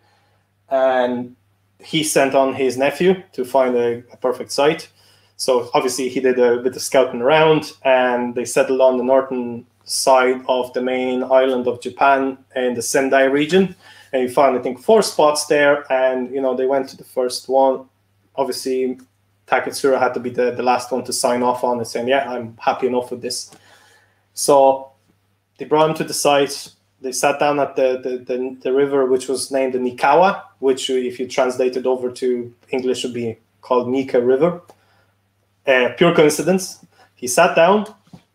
He said, I want some whiskey. So he took out a glass. They gave him some some other miniature of Nikka Black in his pocket, gave it to Mr. Taketsuru. He poured down his whiskey, took a little bit of water from the river, uh, diluted it down with that water, tried the whiskey and said, yeah, that's the spot. Let's go with that. So they never even visited the other sites that he scouted. Um, and that's where Miyagikyo Distillery um, was going to be placed. Uh, it was finished in 1969 and it was basically a polar opposite to the Yoichi. So Yoichi concentrates on very, very heavy peated, very estery, very pungent styles of whiskey, whereas Miyagikyo is more lighter, more softer, uh, polar opposites essentially. You have heavy style and you have the kind of a lighter style, and that's what they wanted to achieve with the two distilleries. So they had the two. They also had a, a plant uh, which was a joint venture between them and Asahi called the Nishinomiya. Uh, and that was running up until 99 and that's where they had their Coffey stills which he bought from in scotland from blair's in about 1963 64 blair's actually don't exist anymore. They don't produce anything. Uh, they still use those continuous stills up until this day uh, they are moved in 99 to Miyagikyo, and that's where they are since. Nishinomiya plant, I think, was uh, damaged by an earthquake, and they've dismantled the plant since. They're making some beer, they're bottling some beer as well, but uh, at the end, they moved it to Miyagikyo uh, in 99, and that's where the Coffey malt and Coffey grain that you were talking about is produced since. Some of the older expressions, they actually uh, did have some of the grain distillates from the older distillery but I, think it's very hard to pinpoint which which are which. Um, um, yeah, so uh, I maybe touch a little bit more about the Yoichi. So Yoichi uh, has six stills, uh, four wash stills, two spirit stills. four wash stills are directly coal fired. Uh, very uncommon. Like I mean, the temperature is very high, very hard to control. Uh, runs about think sixteen hundred, no, eight eight to thousand degrees Celsius under the still. So it's very high, very high to hard to control. So every six to eight minutes, if you've ever visited the Yoichi distillery, obviously I only visited online, but if you ever visit the Yoichi distillery, every six to eight minutes, a guy comes in and either chucks some more coal or you know he evens out the fire. So make sure that uh, that the the fire is is evenly spread and the temperature is just right. Um, they wanted to push away from using coal fires in early 2000s, but the problem was that they really didn't want it. There were some people in the company that said, "Look, this is an outdated. No one is using this. Why the hell would you even bother using coal fire, which is not clean? It's bad for environment. La da da da da. So many different things against it. But they said, look, this is our tradition. This is what we're doing at Yoichi, and we're not going to change it. She installed scrubbers, which obviously cleaned the smoke out of the coal fires at much higher cost than it would be to replace uh, the stills and the heating elements and whatnot. They decided to go with the most more expensive and harder option rather than go easy. So again, it really just goes to show that they really want to concentrate on keeping the heritage together there as well and making sure that Taketsuru uh, idea lives on. Um, Miyagikyo is a little bit different. It's all steam heated. Uh, the stills are much bigger as well, and they concentrate on, on lighter styles of whiskey. Um, the still number four, El is actually the original still that was very that was the first still that was installed in 1934. They're still using it to, to this day. So, like talking about history, like it was a still that was touched by the man himself, and it's still being used today. And some of that liquid is definitely in that uh, whiskey. So, since it is a pure malt, it's a blend of single malts from different distilleries. In Scotland, you can't call it pure malt anymore. The Scotch Whisky Association changed that. They they are not allowing uh, uh, producers to name that anymore. They have to call it blended malt now. Um, it's basically down to the fact that when you ship to the, the states, for instance, the FDA, the word pure, I mean, it, it comes across like it's good for you. Like it's oh, medically okay. So that's uh, it's like pure pot still. The reason why they dropped the word pure is it, it, it gives across the wrong terminology and they, they think it's the wrong thing. Makes sense. Um, so the Taketsuru uh, range was firstly released in November 2000 and it started off with a 12 year old. It was very reasonably priced. An equivalent 12 year old in the market in Japan at the moment was double the price. So it was it was very successful. They saw they sold all the bottles, and it was a half a million bottles they made in the first run, very quickly. Uh, and then they also did a 25 year old limited release of 700 bottles. If you have a bottle, give me a shout. I'd love to try it. Uh, they over time they've added on more uh, age statements. There was a 15, a 17, and a 21 that they added up until 2008, 2010 ish, I think, and then they slowly, slowly started discontinued. It was called the Nikka shock, basically. They had such big shortages in, in, in the early mid 2000s and mid late 2000s that they um, they dropped I think twenty something different uh, expressions from their portfolio, just like that to say, "Oh, not making it anymore. Sorry, let's see you later," and replaced it with this. And this was released in 2015, and it was basically to fill the hole in the Taketsuru uh, gap that was left after 12, 15, 17, and 21 was discontinued. So they had to come up with something. Obviously, they didn't have enough age stock, so what they did was there is a higher component of Miyagikyo malt in this than there is to Yoichi. Obviously, you can probably get that by the taste as well. It's not as heavy, not as smoky, but there is nice hint of smoke there lingering in the back. Um, it's around 10 to, 15, uh, 10 to 12 years old from what Nikka emailed me back, but again, it's hard to say. Uh, they did say that there was a, a, a little amount of outsourced whiskey added to this particular blend. This blend was discontinued now, I think in 2018, and they just re-released that with uh, newer blends uh, being in it. So the newer blend is actually 100% Japanese to follow the new rules. But there, as far as I know, there's a little bit of uh, most likely Ben Nevis because they own Ben Nevis as well. So there's a little bit of Ben Nevis there as well, um, added to it just to probably counteract the fact that they've they didn't have enough age stock. Uh, I would say vast majority of it is Japanese. They're probably just looking for that very fine component to fine tune that whiskey, just to make sure that uh, it was right bang on the way they wanted, the way to to follow the Taketsuru range better. You know, they, they wanted to, to concentrate on the fact that they, they all had their own little character. Each uh, each range had a different character, so they want to make sure that they, they kept that with this non-age statement. So yeah, Jeez, I talk a lot. I need water. At a blind taste, if didn't know what it was, I would swear that this was like 60 70% port cask, either 30 40% um, sherry cask, or maybe the world's smallest bit of bourbon in it. The fortified wine kind of flavors are just huge. That, as you're saying, red berries, dark fruits that the lads are saying, Yeah. it just it's just absolutely massive. And the the smoky component to it seems to be a lot more kind of drawing the flavors out than it is bitter impact. Yeah, um, it's very hard to actually get the, the, the barrels that they use for each whiskey, and I think it's down to the fact like they never, they usually never tell you. I, I got an email a couple of distilleries, and it's, it's very hard for them to pinpoint what barrels they use for each whiskey. Sometimes it is easier because in a single cask or whatever, but usually in the, in the blends like that, they use such a wide variety of different. Uh, casks and flavors and distillates that they have under their umbrella that it's very hard for them to pinpoint the end breakdown of the casks because it could be so many with so many different you know malts being used as we were saying with Suntory. I would imagine that uh, uh, Nikka does pretty much the same with their double distillation process that they are mixing and switching different stills and all that. So uh, it's very hard for them to pinpoint what actual whiskey goes into each blend. Which I, like you know, it's like asking Jameson, like, what cask you use? Like, you know, it's impossible to to pinpoint, but it's a spectacular blend. Like, I mean, Yep.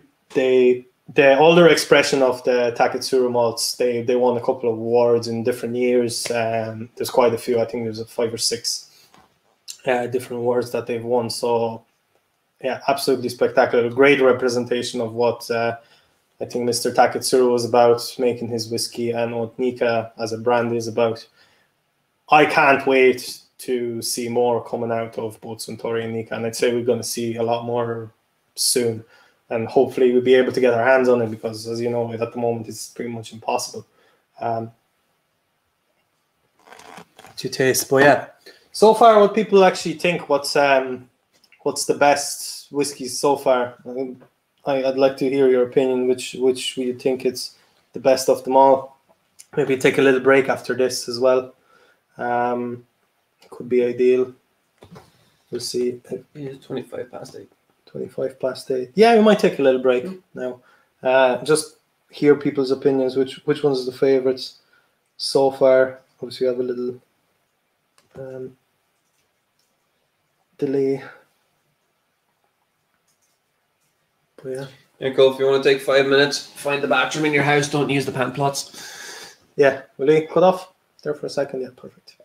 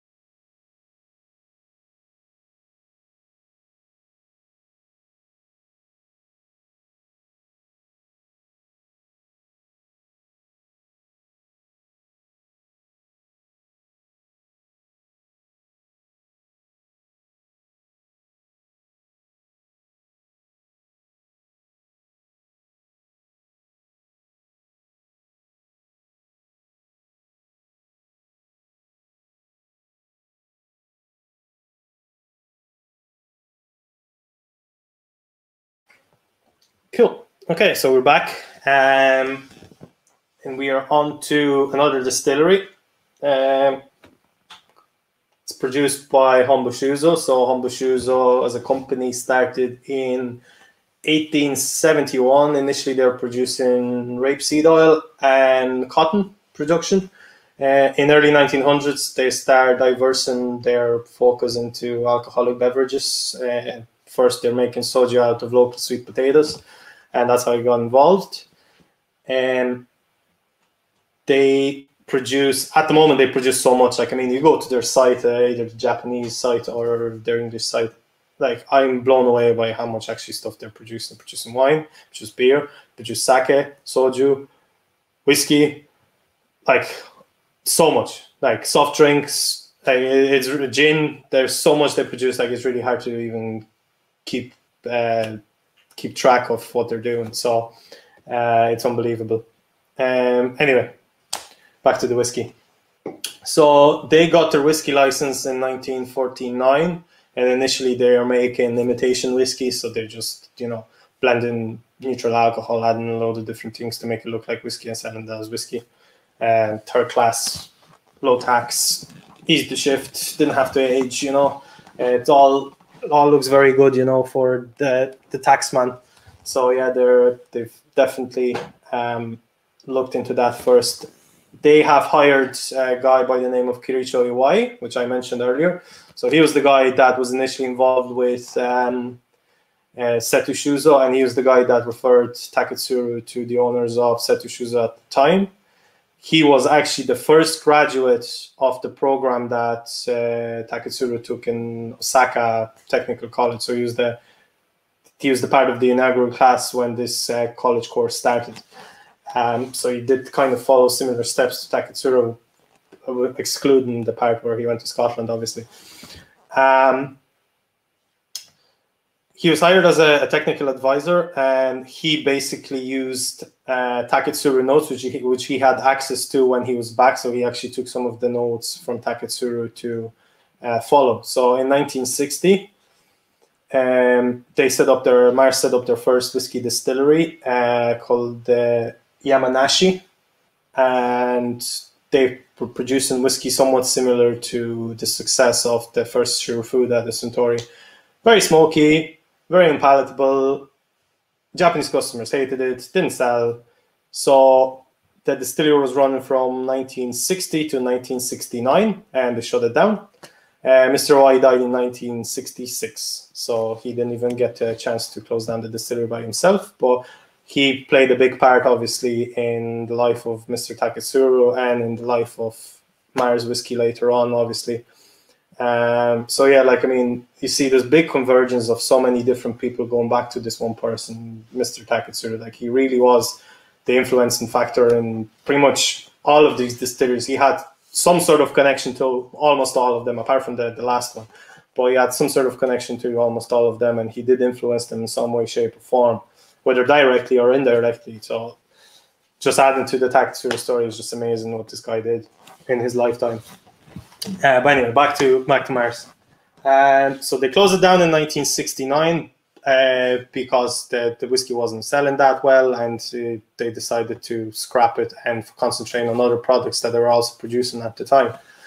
Um, in early to mid 70s, so the whiskey industry was picking up big time. So they looked at options of restarting uh, the distillery back up again. So in 78, they started making the first process. And what they did was they've reopened uh, the distillery, but at their headquarters in Kagoshima. And that distillery was running from around 1980s to about 1983, 84, up until they found the right place and the right spot to build a proper whiskey distillery. Uh, in 1985, they shut down that the distillery in Kagoshima. So that's their second distillery they're on now again, uh, and they're building a third one. So the third distillery is called the Shinshu, and that's where uh, that liquid is from. Shinshu was opened in 1985. Uh, it was built at the foot of Mount Kagomagatake. Got that right again. Um, it's actually very close to the Hakushu. It's probably, I think, not even 100 k's between Hakushu and uh, and the Shinshu distillery. So they actually built on the same mountain range. So Hakushu is built at 700 meters above sea level. So Mars, I think, wanted to up them a little bit. So they built their distillery at 798 meters above sea level. So it's the the highest uh, whiskey distillery in Japan at the moment. So they just you know upped it up a little bit more. Karuizawa actually actually was the the, the, the highest whiskey distillery in Japan, but the, in 2016 was demolished. So uh, Shinshu took that uh, that torch off Karuizawa, and now it's the the highest uh, distillery. Um, they source their water obviously from the same mountain range as uh, Hakushu does, so you'd expect the water being very clean. But they actually decided to find even clearer water and decided to drill a big, massive well that goes down 120 meters uh, further, and that's where they're sourcing their water. So you know they they even didn't want to be the same as Hakushu, and they decided to get their water from elsewhere. Um, that distillery was then running up until 1992. Like uh, basically, Mars had the worst timing possible, I think, when it comes to uh, building and opening distillery. So in the 60s, like the whiskey was doing okay, but wasn't doing spectacular. So they closed in late late 60s. Early 70s, whiskey picked up again. And then in late 70s, they decided to open it again, uh, uh, re- reopen a distillery. And by the time that they've built a new distillery uh, in Shinshu, the market was had a huge decline. And we didn't all, didn't only see that in Japan with whiskey industry in Japan, but also in Scotland and other places that are making whiskey. Uh, in Scotland, I think it was still called the whiskey loch of the 80s, where there was overproduction of whiskey and there wasn't enough buyers. So there was a lot of cult distilleries in Scotland that, that had a big following that closed down at that time. And you can see the same uh, happening in Japan uh, yeah, uh, Suntory was focusing on moving into more premium market rather than the bulk market. Same with Nikka, so they're kind of scaling down their production in the 80s um, because they, they had to and they wanted to as well at the same time. So they opened in, in uh, Shinshin 85 and in 92 they closed it back down again. So they were very, unlucky. Like they're onto their third distillery and they shut it down after just seven years in operation. And it stayed dormant uh, up until 2011 when the whiskey industry picked back up again and they said, mm, maybe we'll try this whiskey thing again and see what happens. Uh, or from 92 to 2011, they're still bottling whiskeys. They're just using the old stocks that they had in the warehouses. And then when the 2010 whiskey boom happened, they decided that it won't last for very long. They probably won't even last the end of the year. So they said, shit, we have to make more. Um, so they started their first seasons are very short. I think they only lasted three to four months. Uh, they only used about six tons of grain at the time, um, but each year they scaled up significantly. Now they use nearly 270 tons a year, and their season's not six, three months long, but it's actually 10 months long, probably going to be longer over time. Um, so you can see a huge step from 2011 till now. Like, I mean, they've probably up their up their production a few hundred percent. So it's absolutely amazing. Uh, in fact, the stills that were used in the Shinshu initially were the original original stills that were designed by Mr. Iwai, which based his design off notes of Taketsuru. So Taketsuru was directly involved in the stills that Mars used. Uh, these stills were used up until 2014. I, I calculated out that the stills were dormant for longer than they were actually used. I think it was 29 years dormant and 27 years uh, in use. And then in 2014, they discontinued those those original stills, obviously due to their uh, their age and they're prone to leaking and stuff like that. So they decided to uh, finally upgrade them. But the way they upgraded them was they wanted to make sure that the, the, the shape and the capacity and everything uh, is exactly the same as to the old Iwai stills. The Iwai stills are now packed up right outside the distillery, so if you ever visit, you can have a look at them and you know and compare and contrast if there's any differences between new stills that are inside the building and the old stills that are uh, outside the building. So uh, they double distill there as well. Uh, very interestingly, as when the distillery closed down, they actually built a small brewery as well right beside the distillery. So there was some activity when the distillery was closed. There's just distillers weren't used, but the brewery park was used, and it's used um, to this day. They still make beer. So with that, they also have access to quite a wide range of different brewers yeasts. They use uh, they like to use ales yeast, as far as I know, because they produce a very uh, flavorful wash. Uh, they use a normal distiller's yeast as well, and they also use uh, it's called the heritage yeast, I think they call it, and it was the original yeast strain that was developed in 1985, and they still have it and they still use it. So uh, they developed that, that strain in '85, and they have it up until this day, which is very cool. Like they're still they're still using quite a lot of it. Um, interestingly, they're using uh, stainless steel fermentation tanks, which are quite outdated. They date back to the older distilleries and there's a little bit of rust on them here and there. I think they're going to replace them. If not, they didn't replace them already because I actually seen that I was on the Instagram story you posted today. There's a video from the Shinshu distillery on our story, and it looks like they've updated them. I could be wrong, but it looks like they've updated them through that video.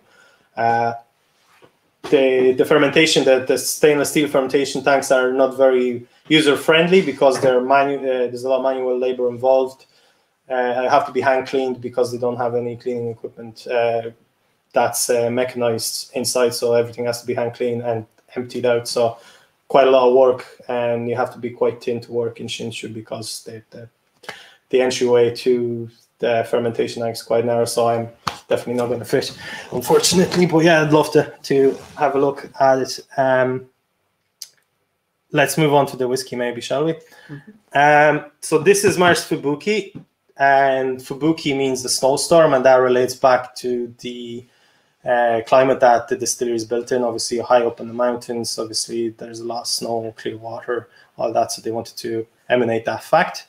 This bottle was released in August 2018 for the Taiwanese market only. As far as I know, it was limited to 1,500 bottles only. So very rare, uh, very hard to come by. Uh, you can see it from time to time on auctions. That's where I got this bottle. Um, it is a blend of malt and grain whiskies, uh, mainly aged in uh, American white oak and ex bourbon. Uh, uh, from what I was told by Momoko uh, Kata, if I'm pronouncing your name wrong, I'm really sorry. I, I my Japanese is terrible. I'd say it's better than the Japanese version of Polish.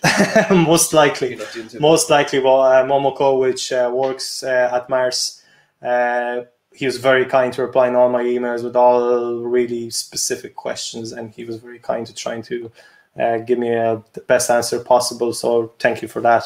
And he said that there was a small amount of grain whiskey that was outsourced used in this. That's because they didn't up their uh, their grain whiskey production yet up until that point. Uh, and that's why because they've opened a, another distillery in 2016 called the Tsunuki, and that's where their grain facility is. So they're only been distilling there for two years at the time. So they didn't have enough of aged grain stock to uh, create this blend.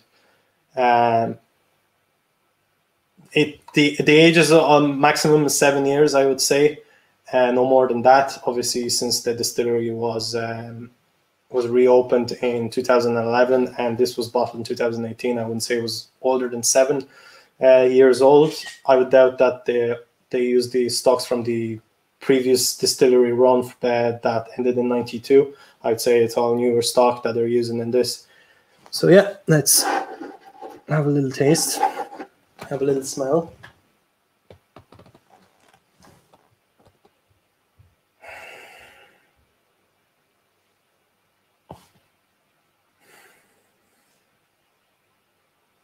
Definitely the most wood forward of the four we've had, or the five at this stage we've had so far.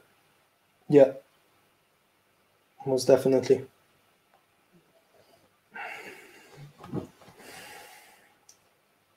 I don't know if they use peat in this or if it's just the char of the gas, but from the nose it does come across like this is the, the smokiest or most charred out um, for so far. So they use four types of different uh, malted barley and different four, uh, uh, four different peat levels. So they use uh, unmalted at zero ppm, uh, very lightly malted at three and a half ppm. So that could be it, because uh, like I mean, it's very faint. Uh, they use 15 to 20 ppm and 40 and above. So they, they use a quite a wide range. In Shinshu, they tend to use unpeated and lightly peated most commonly. Obviously, you have your peat days or peat weeks or Mm. peat months, and they tend to distill probably down one bigger run. But they tend to favor uh, lightly peated or unpeated whiskies. Which would be interesting, as you're saying, like 2011 to 2018. Whereas if they are doing a day, a week, a month worth of um, peating, or a, a day, week, a month worth of each one of the stages, if the oldest in this was the heaviest, the mid range, or the lightest worth of peat, or none, it just shows how much is actually carrying across. It's very delicate on it, but you can. It's very delicate throughout, to be honest. But that could be the age of it. Mhm. That could be the fact that uh, where they are in Japan, their humidity levels are through the roof. And if you, even if Yeah. you, you took a normal Irish 55 ppm, which is the average we have at the moment um, before distillation, if you stuck that onto the island of Japan, you're going from 2% loss to over 10% loss. Your your ppms are just going to be drowned out. So very high for them could actually be mediocre peat levels for, Yeah. for us. Uh, Angel's share at Shinshu is very similar to um, uh, Ireland. It's about it's around three percent, Okay. three to five percent. Um, they're um, they're so high up that they have very low temperature fluctuations. They're nearly 800 meters up, so the temperature fluctuation there is uh, is quite low. It's more similar to our climate than it is to other distilleries. But saying that, they they do have different ways and methods of having more influence of the cask added to the whiskey, which we'll talk about the next one. Um, so Mhm. I'll, I won't say just yet, but yeah, it's it's coming. I I think this is super delicate. Like comparing to all three, like the the, the last three had um, some sort of a a pungent component, something that was sticking out above above all the other components that were there.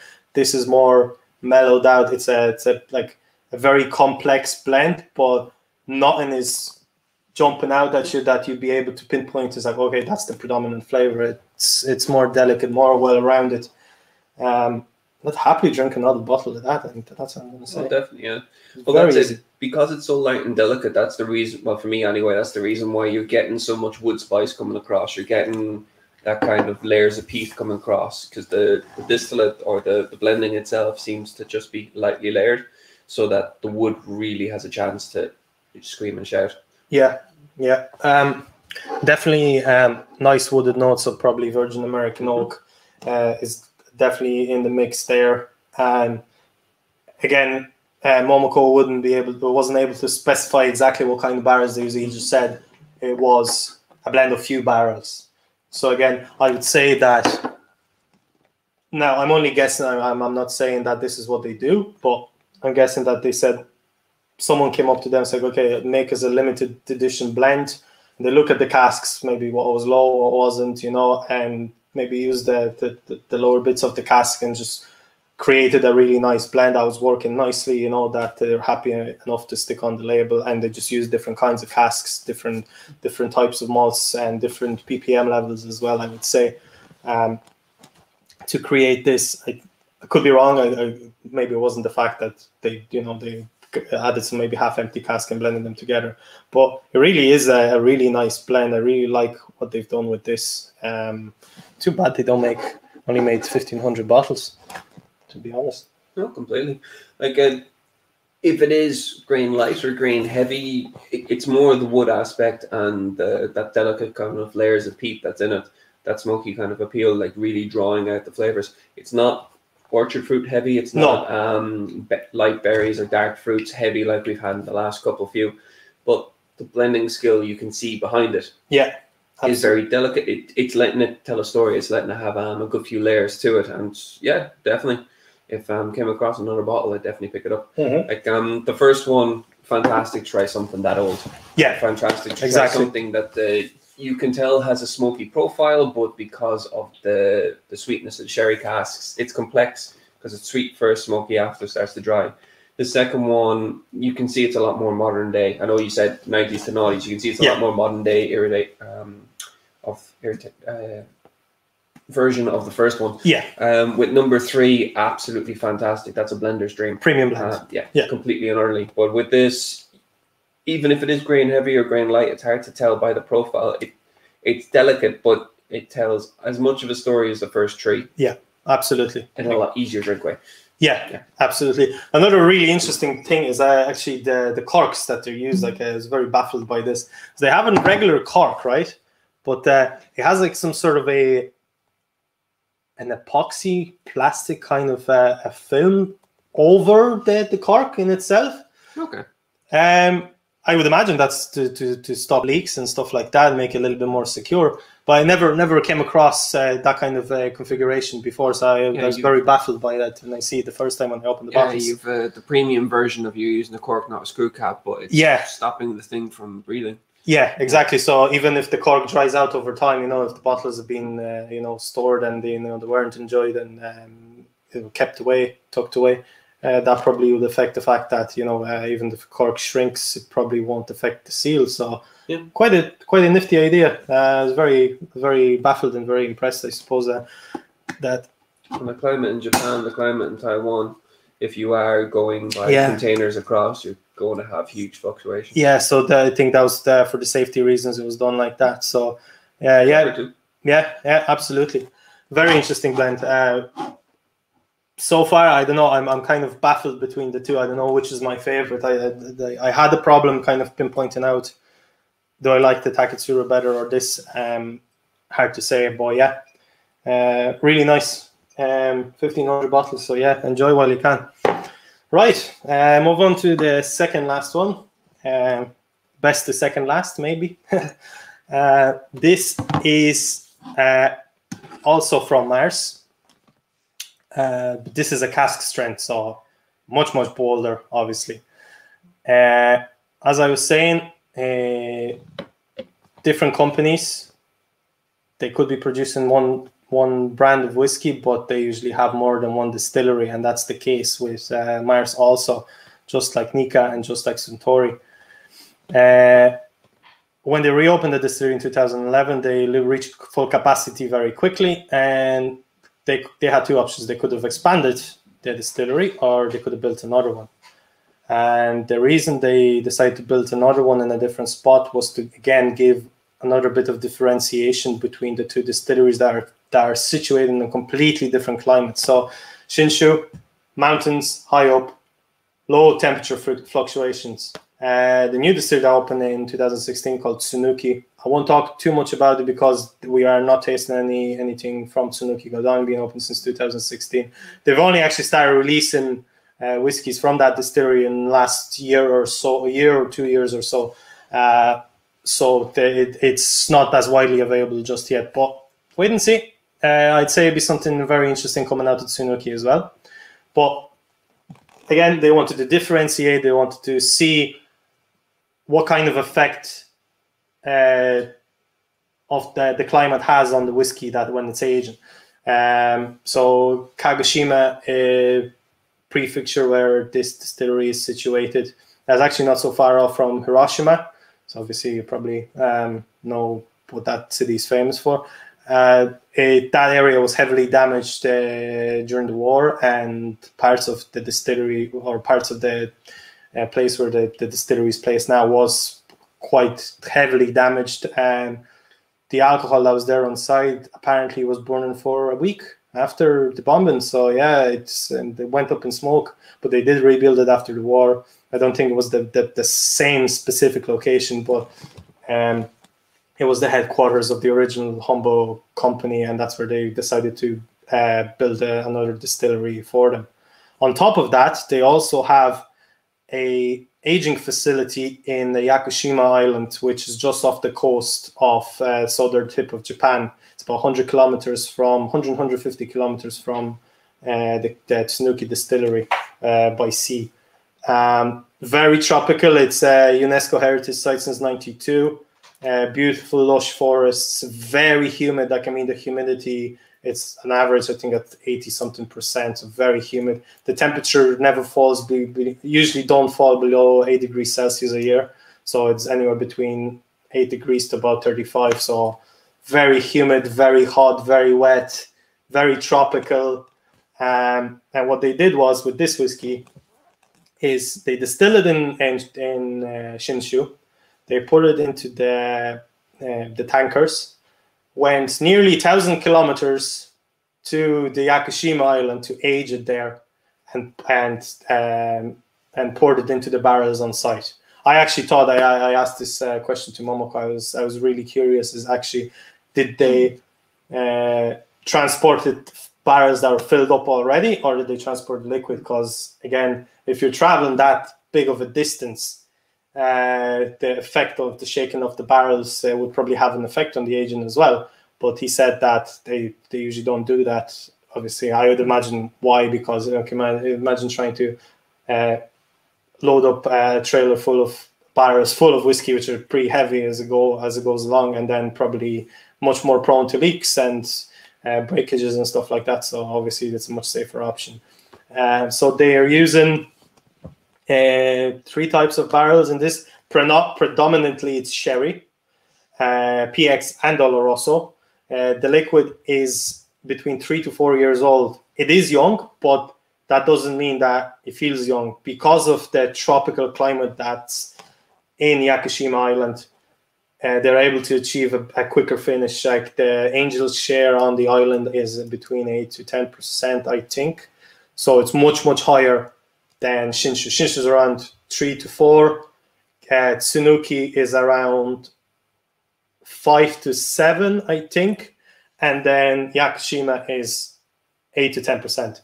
And what they do is every season they send about 6,000 liters from each, excuse me, 6,000 liters from each distillery and age there. The aging facility is quite small, only can handle about 400 casks at the time. So whiskey's coming out of this specific place where it was aged. Is very rare. I think it was either 1100 bottles made or even less. Different sources say, say, different things so i'm not sure. They could be talking about different markets but they're they're saying around 8, 1100 bottles were made so even less than the than the yakushima. And i think you can see the the effects of the tropical climate they had on this whiskey um, again it's cask strength so if you like to add a bit of water go ahead um, i think it opens up a little bit um, especially with the peat. There is definitely a peat component in this, uh, but it's very faint when it's at cask strength. Um, the guys at Mars actually say that they they've uh, obviously ate some heavily peated uh, distillates in Yakushima, but it seems that the tropical climate doesn't um, work well with uh, peated whiskies. It seems that they, they say that a lot of that uh, peat evaporates very quickly. Mm-hmm. So even if you have a very heavily peated whiskey, it's not so very peated at the end of the maturation process. So um, they tend not to go with the heavier peated stylus there. They prefer to use the light peated and unpeated uh, for that aging facility in particular. Uh, they release this um, every year. They do like a single malt uh, from Shinshu, aged at Yakushima. They started out in 2018. That was the first run. So that's the second run, I believe. Uh, yeah, that's the second run. And they've released the 2020 version. They are not so well last year. Uh, much lighter in color, much lower ABV. I think it was at 53. This is at 58. So um, I think the blending process was a little bit different as well. It was much lighter in color. It's a good two, three shades lighter. Uh, there is Momoko said there was some uh, white American oak barrels used as well. So I, am guessing he's, he means uh, virgin barrels. Um, honestly, I can't really get that. A little bit, maybe. If you're fighting against Oloroso and you're fighting against Pedro yeah. Ximénez, it's it's going to heighten something. It's going to yeah. be hard to pinpoint it in a in a in something that would be say virgin oak versus normal bourbon and a, a green. Or, yeah, yeah. Yeah. So what do we think? Ooh. Much more peatier than I. It's kind of like charcoal off a barbecue. That kind of um, yes, smoky, almost salty. Yeah. Um, the saltiness could be from the aging climate. You know, mm. the, the closeness to the sea. They're not that the, the warehouse itself. It's not that far from the sea. So I imagine that. Like there's a lot of fortified, fortified sweetness on it, but it's more like you're sweetening up the tobacco, you're sweetening up that kind of charcoal, mm-hmm. than um, actually bringing in a ton of uh, dried fruits. But the aftertaste gets a lot sweeter. Uh, it doesn't even dry out; it just sweetens, which is really strange. Yeah. They, um, I'm used to kind of Scotch doing the opposite, Irish doing the opposite, where you're you're going from peat to sweet or sweet to peat, and it's always ending on the peat. This seems to end more sweetness of the peat or sweetness of charcoal. Yeah, it, it kind of leaves this a slight bitter note right at the, the, the back of your mouth, Mm. like just just when it goes down. But at the same time, you have that sweetness. On But the yeah, the your- sweetness it- is it- it's more from- away. Usually, when you get that bitterness or you get that kind of dryness, the sweetness is completely. It seems like it's separated out. Yeah. Like you're getting more of the sweetness closer to the, the front of your mouth, and you get that uh, peated bitterness right like closer to the end. Um, yeah, it, it's, uh, it's it's very interesting. Once again, it's um, it's a very interesting blend uh, of casks. I think they, they've they've played that like because I was really worried that you know you're talking tropical climate and you're putting fortified wine. I was like, oh Jesus, it's going to be overdone completely. Like I know it's only three four years, but It's also along the lines of the fortified wine survived the trip the whole way to that high climate and was still able to Yeah. be used. like I mean, it's unbelievable. Like uh, just this whiskey to arrive on this table and to your tables, like it it traveled nearly 15, 16,000 kilometers from what I calculated out. So like it went from Shinshu in the middle of Japan down to this tropical island off the coast of Japan, back for bottling to Japan, and then shipped to France where I got it from, and then shipped over to to Ireland. And here we are today. Like I mean, and then you play with the fact that it's Oloroso, it's Pedro Ximénez, and it's America. So the volume of distance the casks have to get just to get to that's it's a proper Mr. Worldwide whiskey, you know. Yeah. Um, the amount of uh, things that these components travel is, is beyond belief. Um, I, I love the fact that uh, Mars is playing on the, the fact that they have access to all those different uh, sites, and they have access to a lot of different things actually. So the Yamanashi distillery that was firstly set up uh, by Mars uh, when it stopped uh, whiskey production, they redeveloped it into a winery. So they still make wine there today, and it's still owned by Mars. So they not only they have access to all these amazing sites and amazing distilleries scattered across Japan, but they also have access to their own wine barrels and all different things like that. So it's it's, it's amazing that they they're able to kind of combine everything that they have within their their brand portfolio into into this bottle and using all the sites and all the uh, all the things they own completely to make this whiskey like it's uh, it's incredible the amount of uh, places this this whiskey has traveled and I got here safe you know amazing. sometimes yeah uh, uh, luckily enough it wasn't Fastway that was delivering it so yeah it uh, it survived but yeah I got one of them last week. Got a note through the door saying, um, uh, delivered in garden, looked in the front garden, nothing there. About 13, 14 feet from the side gate. Your man must have just just perfect la- lamp it out yeah why not why not as long as it survives It survived. Oh, it was packaged brilliantly. good good well done Thank to whoever say Uh, it Irish malts. yeah They're fantastic for it. Ah, they're very good. In fairness. I, yeah, when you whenever you get delivered Irish malts, it's, it's very hard to get it unpackaged because it's always uh, packed very well. So fair play to them uh, on that matter. But yeah, um, this is yeah, this this we're pretty much coming to an end. We're going to the last one now, and I have to say I had a, a huge dilemma yesterday where I was going to put this whiskey in and what what part of the lineup or which what was the the order of running, and I that was the one I was struggling. I pretty much had the all five that we tried already pretty much down very well, and I wasn't too worried that they're going to clash with each other. I think they worked very well, but this one was just wasn't cooperative at all. I don't know. It's it it's so different to all the other ones that um, yeah, it wasn't it, it wasn't uh, lining up with the rest. But anyway, you want to grab your new friend? I'll grab my new friends. So this is Kura, Kura the whiskey, and as I was said, I will talk about the new whiskey regulations that are coming in very soon. So April, no, sorry, uh, February 13th or February 16th, the JSLME, which is Japanese Spirits and Liqueur Makers Association. I said it right. Yeah, I think that's what that's the name. Could could be wrong. It, it's a it's a it's a long uh, word. Anyway, uh, they've decided that the time has come to put in a new regulations for Japanese whiskey. And the new regulation stands as follows. So the grain doesn't have to come from Japan. They can be sourced from elsewhere, probably UK, because that's where they're getting from at the moment. The fermentation, distillation, maturation has to happen in Japan. The maturation has to happen in a wooden barrel of no bigger size than 700 liters, I think. Hmm.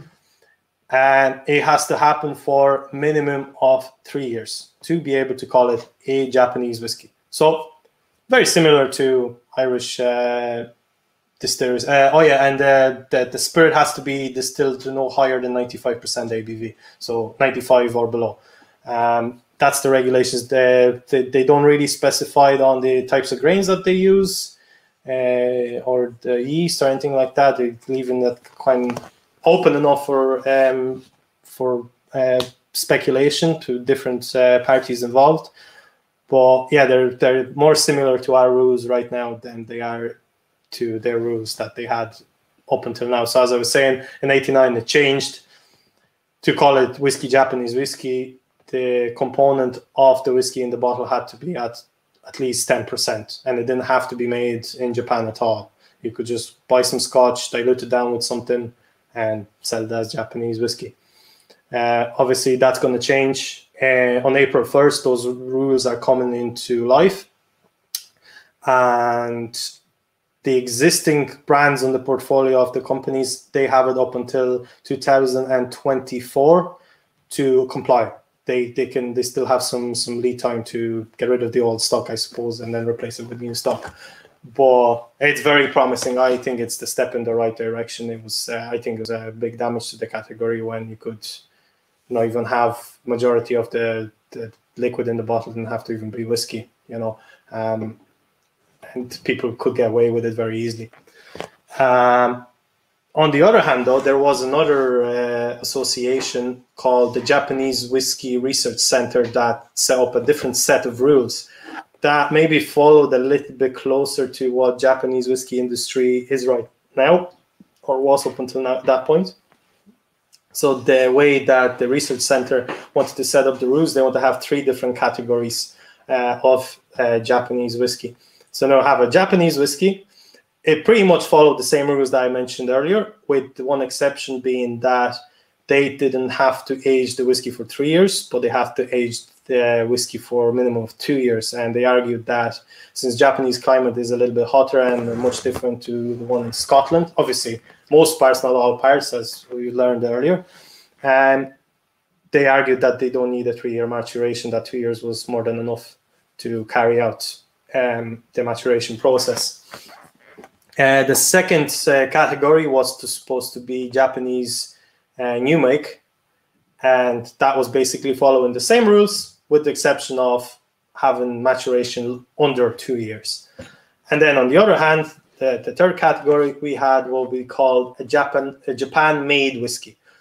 So uh, adding component whiskey from elsewhere was a big part of uh, Japanese whiskey industry since the start, really and it being a part of the heritage of using some outsourced whiskey from Scotland or other uh, places like Canada as well was quite prevalent with uh, Seagram's being uh, one of the big players at, at one point as well in the whiskey industry in Japan. So uh, they did use some uh, Scotch and Canadian whiskies in their blends, and they wanted to make sure that this tradition that shaped and molded Japanese whiskey industry was kept going, and they wanted to call it Japan-made whiskey. So it had to follow all the same rules, with the exception that not all whiskey had to be made in Japan, but some of the percentage of that whiskey had to be made by the Japanese whiskey standard. But but uh, implementation of uh, outsourced blends was allowed. But as a customer, you'll be able to differentiate. You have a truly Japanese whiskey made in Japan, and you have a Japanese whiskey, say blended and designed in Japan, but maybe does not have all the components that were made in Japan as such. But you're able to differentiate between the two, and you made if, if you're you know educated enough in the subject, you'd be able to distinguish between the two. uh, both parties didn't agree on that, and uh, JSLM decided to uh, don't go with Japan-made whiskey. But uh, the Whiskey Research Center they set up a Tokyo Spirit competition, and that was the rules that are meant to be implemented in 2020. But obviously, we know what happened in 2020, so that competition didn't go ahead. But they're planning on going with these rules in 2021.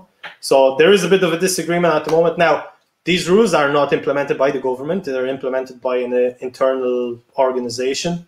So it's not like the government is enforcing them; it's the the people that are in the association that are enforcing them upon themselves.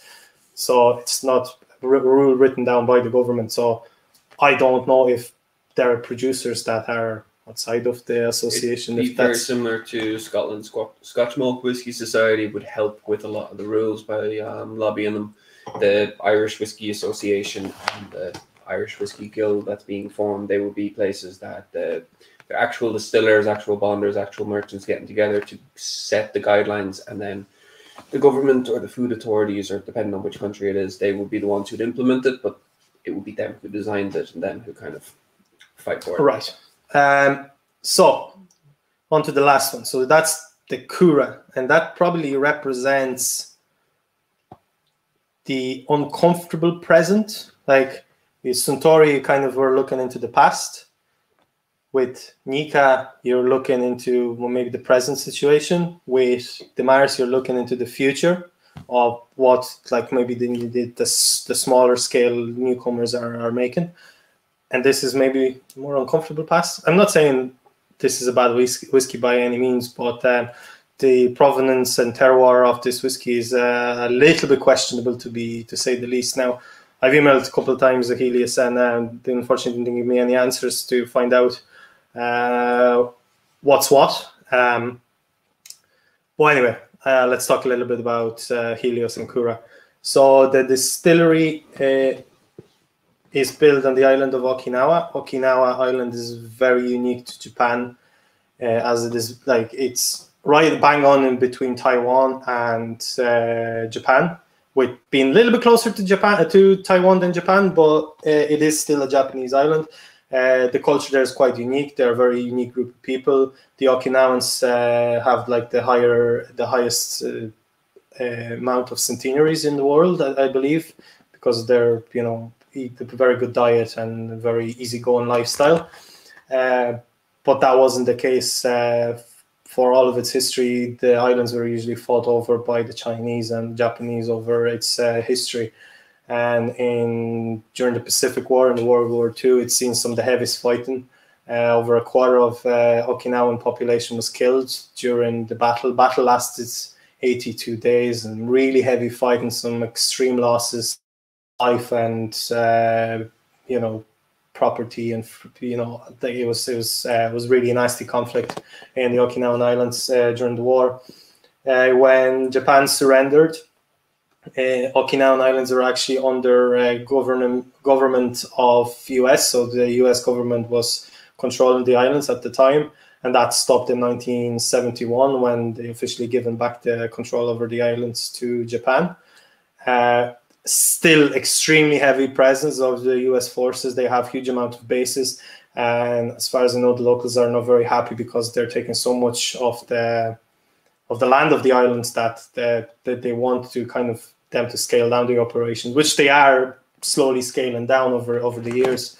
Uh, but yeah, it was a very conflicted kind of part of the the uh, part of Japan after the war. But anyway, the distillery was built in 1961, and it was a rum distillery. It still is a rum distillery, and they decided to go with rum because they had so many Americans there, and the tiki boom was life and well and a lot of the GIs that are coming over to Okinawa are actually from Hawaii, and that's where kind of the tiki boom happened. So they all wanted rum. So they said, well, we have sugarcane here that's growing here quite nicely, and we had like we have the raw ingredients. Why not just start making the rum? So they that's what they did.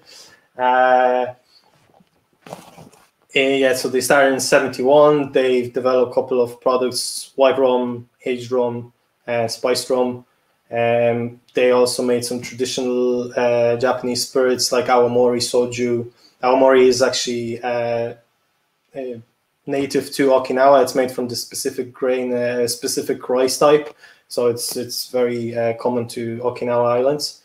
And then in 1987, they wanted to they started whiskey distillation, from what I found, uh, but that didn't last too long. They stopped in 2001. The reason they started whiskey distillation is because they wanted to get into uh, the Taiwanese market, which was quite close to them, uh, closer than Japan, and they that's that's the product they wanted to push. Uh, since they couldn't push uh, soju and awamori at the time in Taiwan because of the um, the, the ban essentially on uh, on these products because uh, Taiwan wanted to focus on the local industry. They didn't want to give more competition to uh, the local producers, so they didn't want these kind of spirits to come in. But they didn't have a problem with whiskey, so that's when they entered the whiskey market in '99. They released uh, Kamiya 12 year old. Apparently, it didn't really taste like whiskey. It tastes like more like an aged awamori from the um, uh, reviews I was reading. Uh, some are good, some are bad. It's kind of right down in the middle. In 2001, they stopped distilling whiskey, and then in 2016, 16, they, they apparently picked it back up, and they restarted the, the, the whiskey brand from Helios with Kura. They had three different types. They had the, the rum cask finish, sherry cask finish, and a regular classic.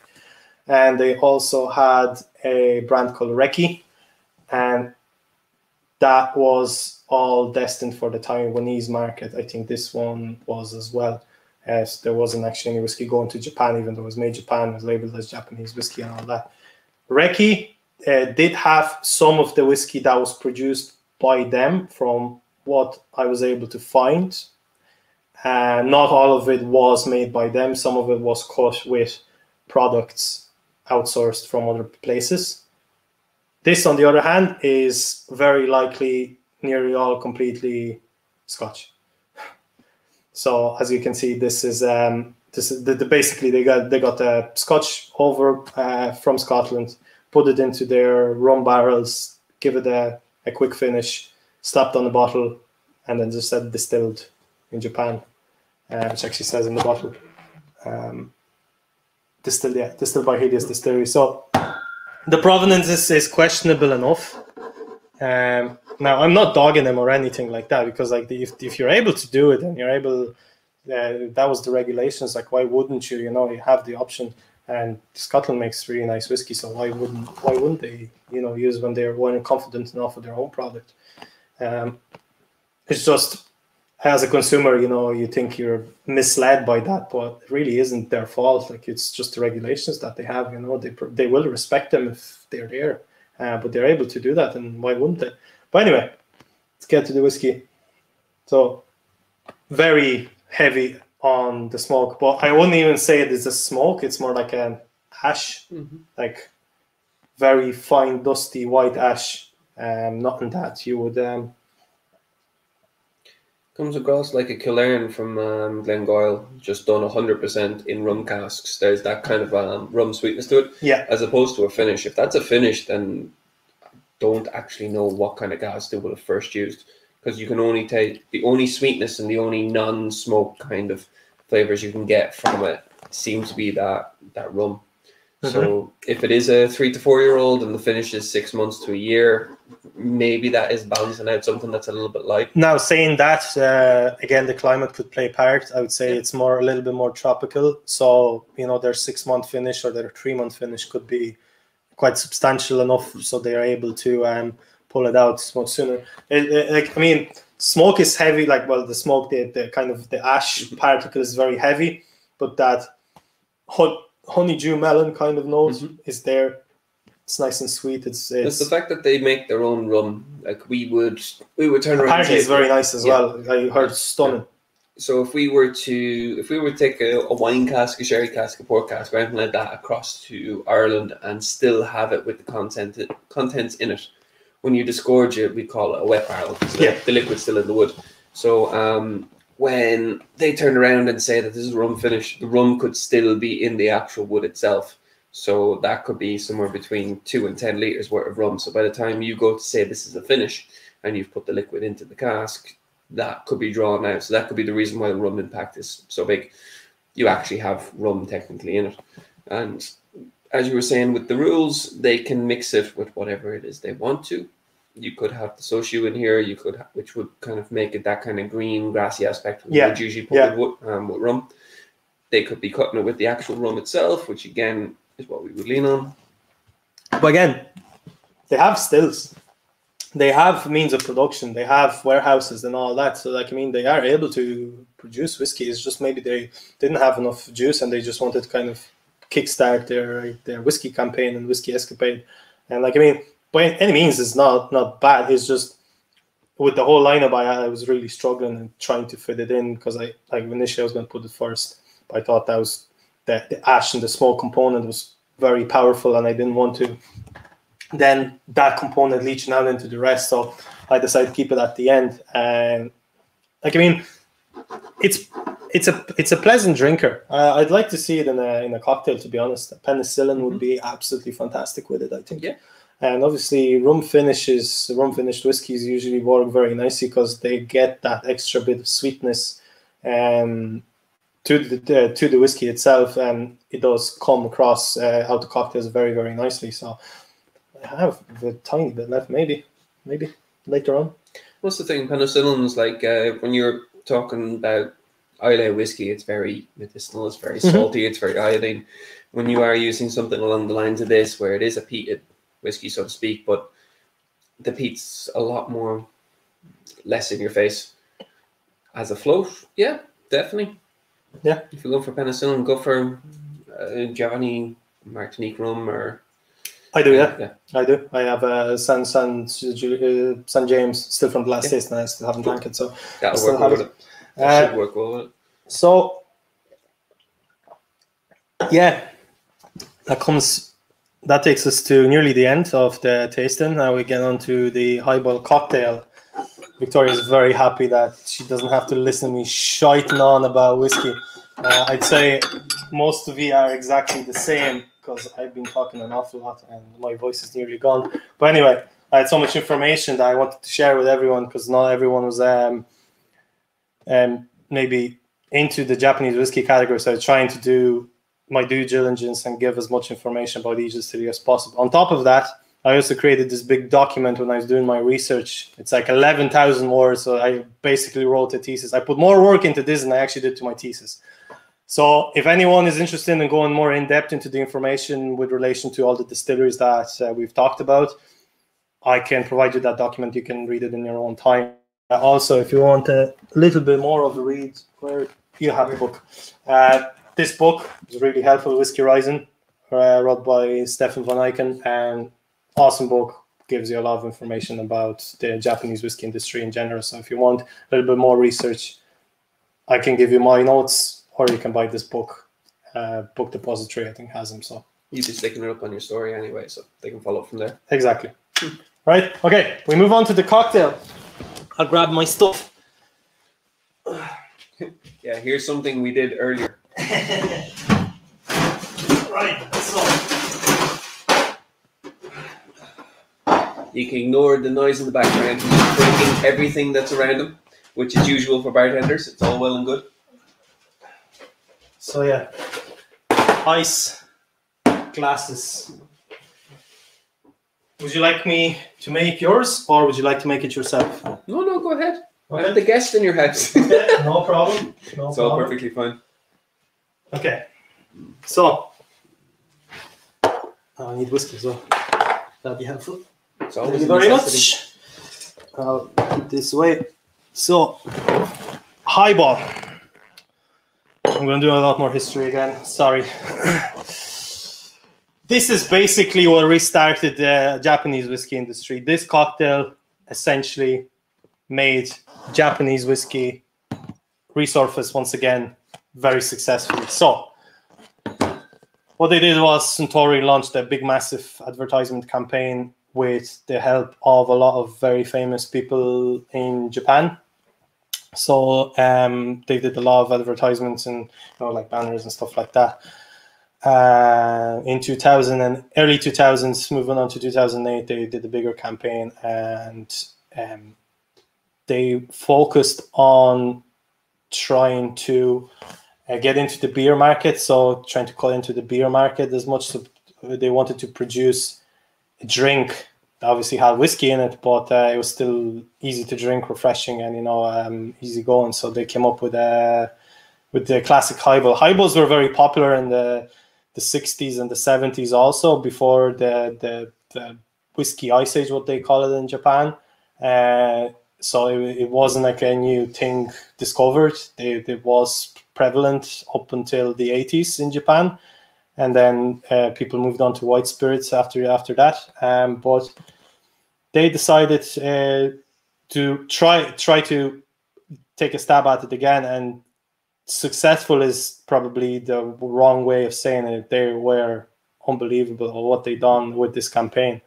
In 2008, they launched it right, and they were selling pre-made highballs in, in cans like you know you get your with your whiskey ginger think of highball as a as a japanese equivalent of whiskey and ginger in here so they were making highballs in cans ready mixed uh, and they were in 2008 they sold 38000 cases. So 24 in a case 250 ml a can. In 2009 they sold 6.2 million. One year. One year of of, uh, of advertisement, and it went from zero to this unbelievable number. It like it was crazy, and that's what kick-started off the shortages essentially. Because even if they high low grade whiskey, they're you know they're like not not low grade. I, I shouldn't say that, but uh, younger uh, whiskey, they're using that into their Kakubin blend, for example, or their Nikka Black, as would be the equivalent of the Kakubin for Nikka and they're using that to make um, make the highballs and like successful. It's the un, uh, like the underestimation of of biggest sort. Um, they're very particular how they make the highballs. Uh, in izakayas, they're very simple, just you know thrown in together in a nice kind of uh, beer mug class kind of uh, glass. Um, but you can go to those high end bars where they you know they make it very the, the, the whole story behind um, making it is, is very particular. So I'm going to try my best to emanate that kind of very fine Japanese way of making highballs. Like it's very particular on what they're making. Uh, please uh, don't bother with what I'm doing because like I went completely over the top. I I want to show you uh, how much effort the Japanese um, put into their highballs, how much uh, uh, pride and energy and, and art goes into making a highball like that in one of those high-end bars. The cheap ones, obviously, you know, they're nice. They're just thrown together like you would with Jamie and Ginger. But uh, the ones that are high-end that you get in those high-end uh, cocktail bars, they're made to the highest standard. So in Japan, the biggest thing is the ice, the clear ice, the dead, dead clear ice, or whatever you want to call it. So I made some of my own. Um, think I did a pretty good job. It's, a bit frosted over right now, but obviously that's going to change when we pour whiskey over it. But yeah, um, see how it goes. So they're very specific in how they're making the the highball. So they want three three big three big ice cubes added into the glass. So that's one.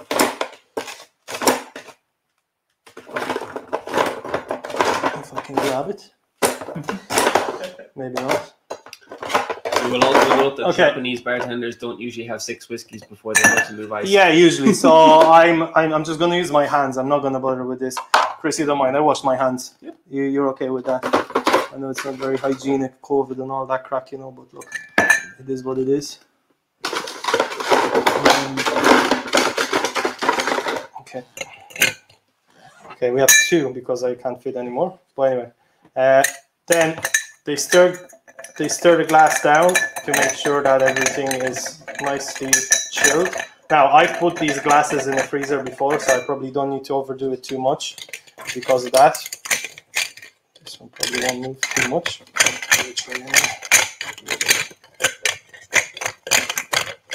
Anyway, okay.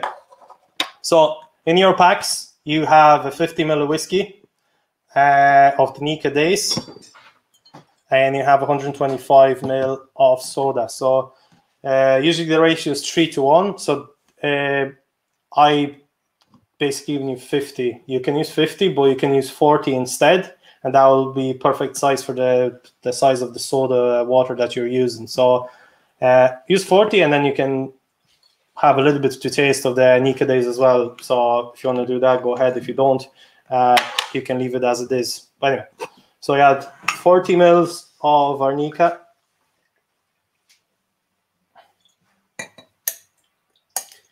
Now you can see the clear ice nicely. Yep.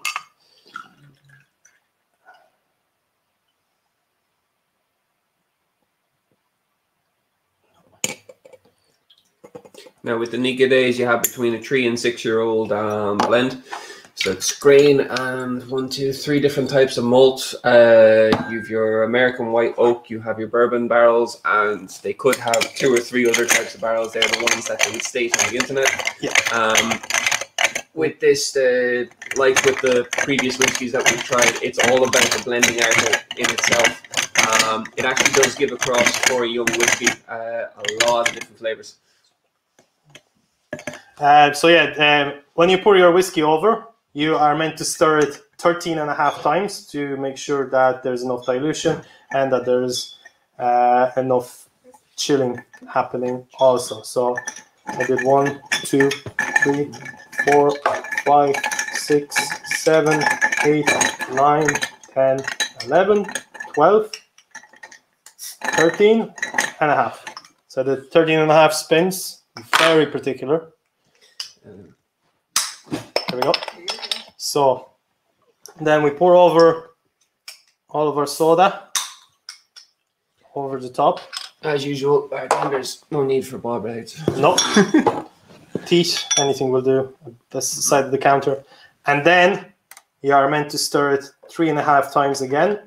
One, two, three and a half. And then slightly raise the cubes make sure that everything is mixed. Stick a straw. And there you go. Chris, you get the first one. Thank you very much. No problem. I'm just gonna finish my one. I started already. I'm gonna pour my soda. So the carbonization of the soda water does majority of the work for you. The whole point of the 13 and a half and three and a half is the contact of ice with all the glass and the contact of ice with all the liquid is mainly to chill it down. So once it's at the right temperature worth of liquid, then that's when you're supposed to enjoy it the most. Now, uh, different variations also on this uh, drink. Uh, uh, there's a variation called the Samboa, which is there's no ice. Everything is chilled. So chilled whiskey, chilled glass, chilled soda, um, and then uh, a lime twist added to it. Uh, this is more of a classic uh, way of looking at it. Uh, they do like to add a lemon wedge or uh, lemon wedge or lemon peel as well to it, but uh, the classic one is without it. Sometimes they also add mint sprig also, but that's more of a, a classic way of doing it. If you ever visit those big bars in Japan, that's the way they make it. Maybe you know a bit more fancier and you know they're up a little nicer and all that. But yeah, that's the, the main general idea of it. And I was kind of blown away how simple and easy it is to drink, and I really do understand how uh, it really speaks to uh, Japanese consumers because they do like uh, drinks that are lighter. They, they water down their whiskey, um, and that's how they enjoy it. And I think that just suits them down to the ground. And I, I think it's a perfect combination. Nikka Days in itself was named Days is because it's a good daily drinker. They say either enjoyed neat or um, on its own. But I think in the highball it works uh, extremely well. But yeah, um, I think that's the end. At last, you survived. Fair play to you, because I mean, I wasn't sure if you're all going to be here for that long because they, I, I tend to talk quite a lot, as you can see. Um, but yeah, I really, really enjoyed um, being a part of this taste, and I hope you did too. Um, there'll be more coming on the way, both from myself and from Chris in the near future. Chris, do you have something coming up now that you can share? Always. Yeah, none to share. Now the two of us will be uh, talking cask strength in the next couple of weeks. I'm talking world whiskey in the next couple of weeks, but uh, we'll leave it at that. Yeah, so uh, I'm I'm gonna actually go ahead with uh, World Whiskey, which is right behind me. If uh, any of you good hawk-eyed uh, people spotted it, so all this and this and this is going to be tasting our next whiskey tasting, which is all about world whiskey. And we are going to taste seven different whiskeys from seven different countries. So if you think you are interested, give me a shout. And I will stick you on the list if you're nice. Um, I hope you enjoyed taking part of your busy schedules, I'd say, on a Friday evening and enjoying me blabbering on about Japanese whiskey that I probably have no clue what I'm talking about. But I think I've did a pretty decent job. I if not, just let me know. You've made it the whole way to the end of the notes, so I'm very impressed. Yeah, no, um, I barely looked at them. I was trying to hold on to the dates, but at the end, uh, it was pointless. Um, so yeah, listen. Once again, thank you very much for listening, and I hope you all enjoyed your time with us this Friday evening. And stay tuned. Make sure you follow us, and uh, there'll be more coming your way. See you guys. You've been warned. Cheers. Ah, cheers.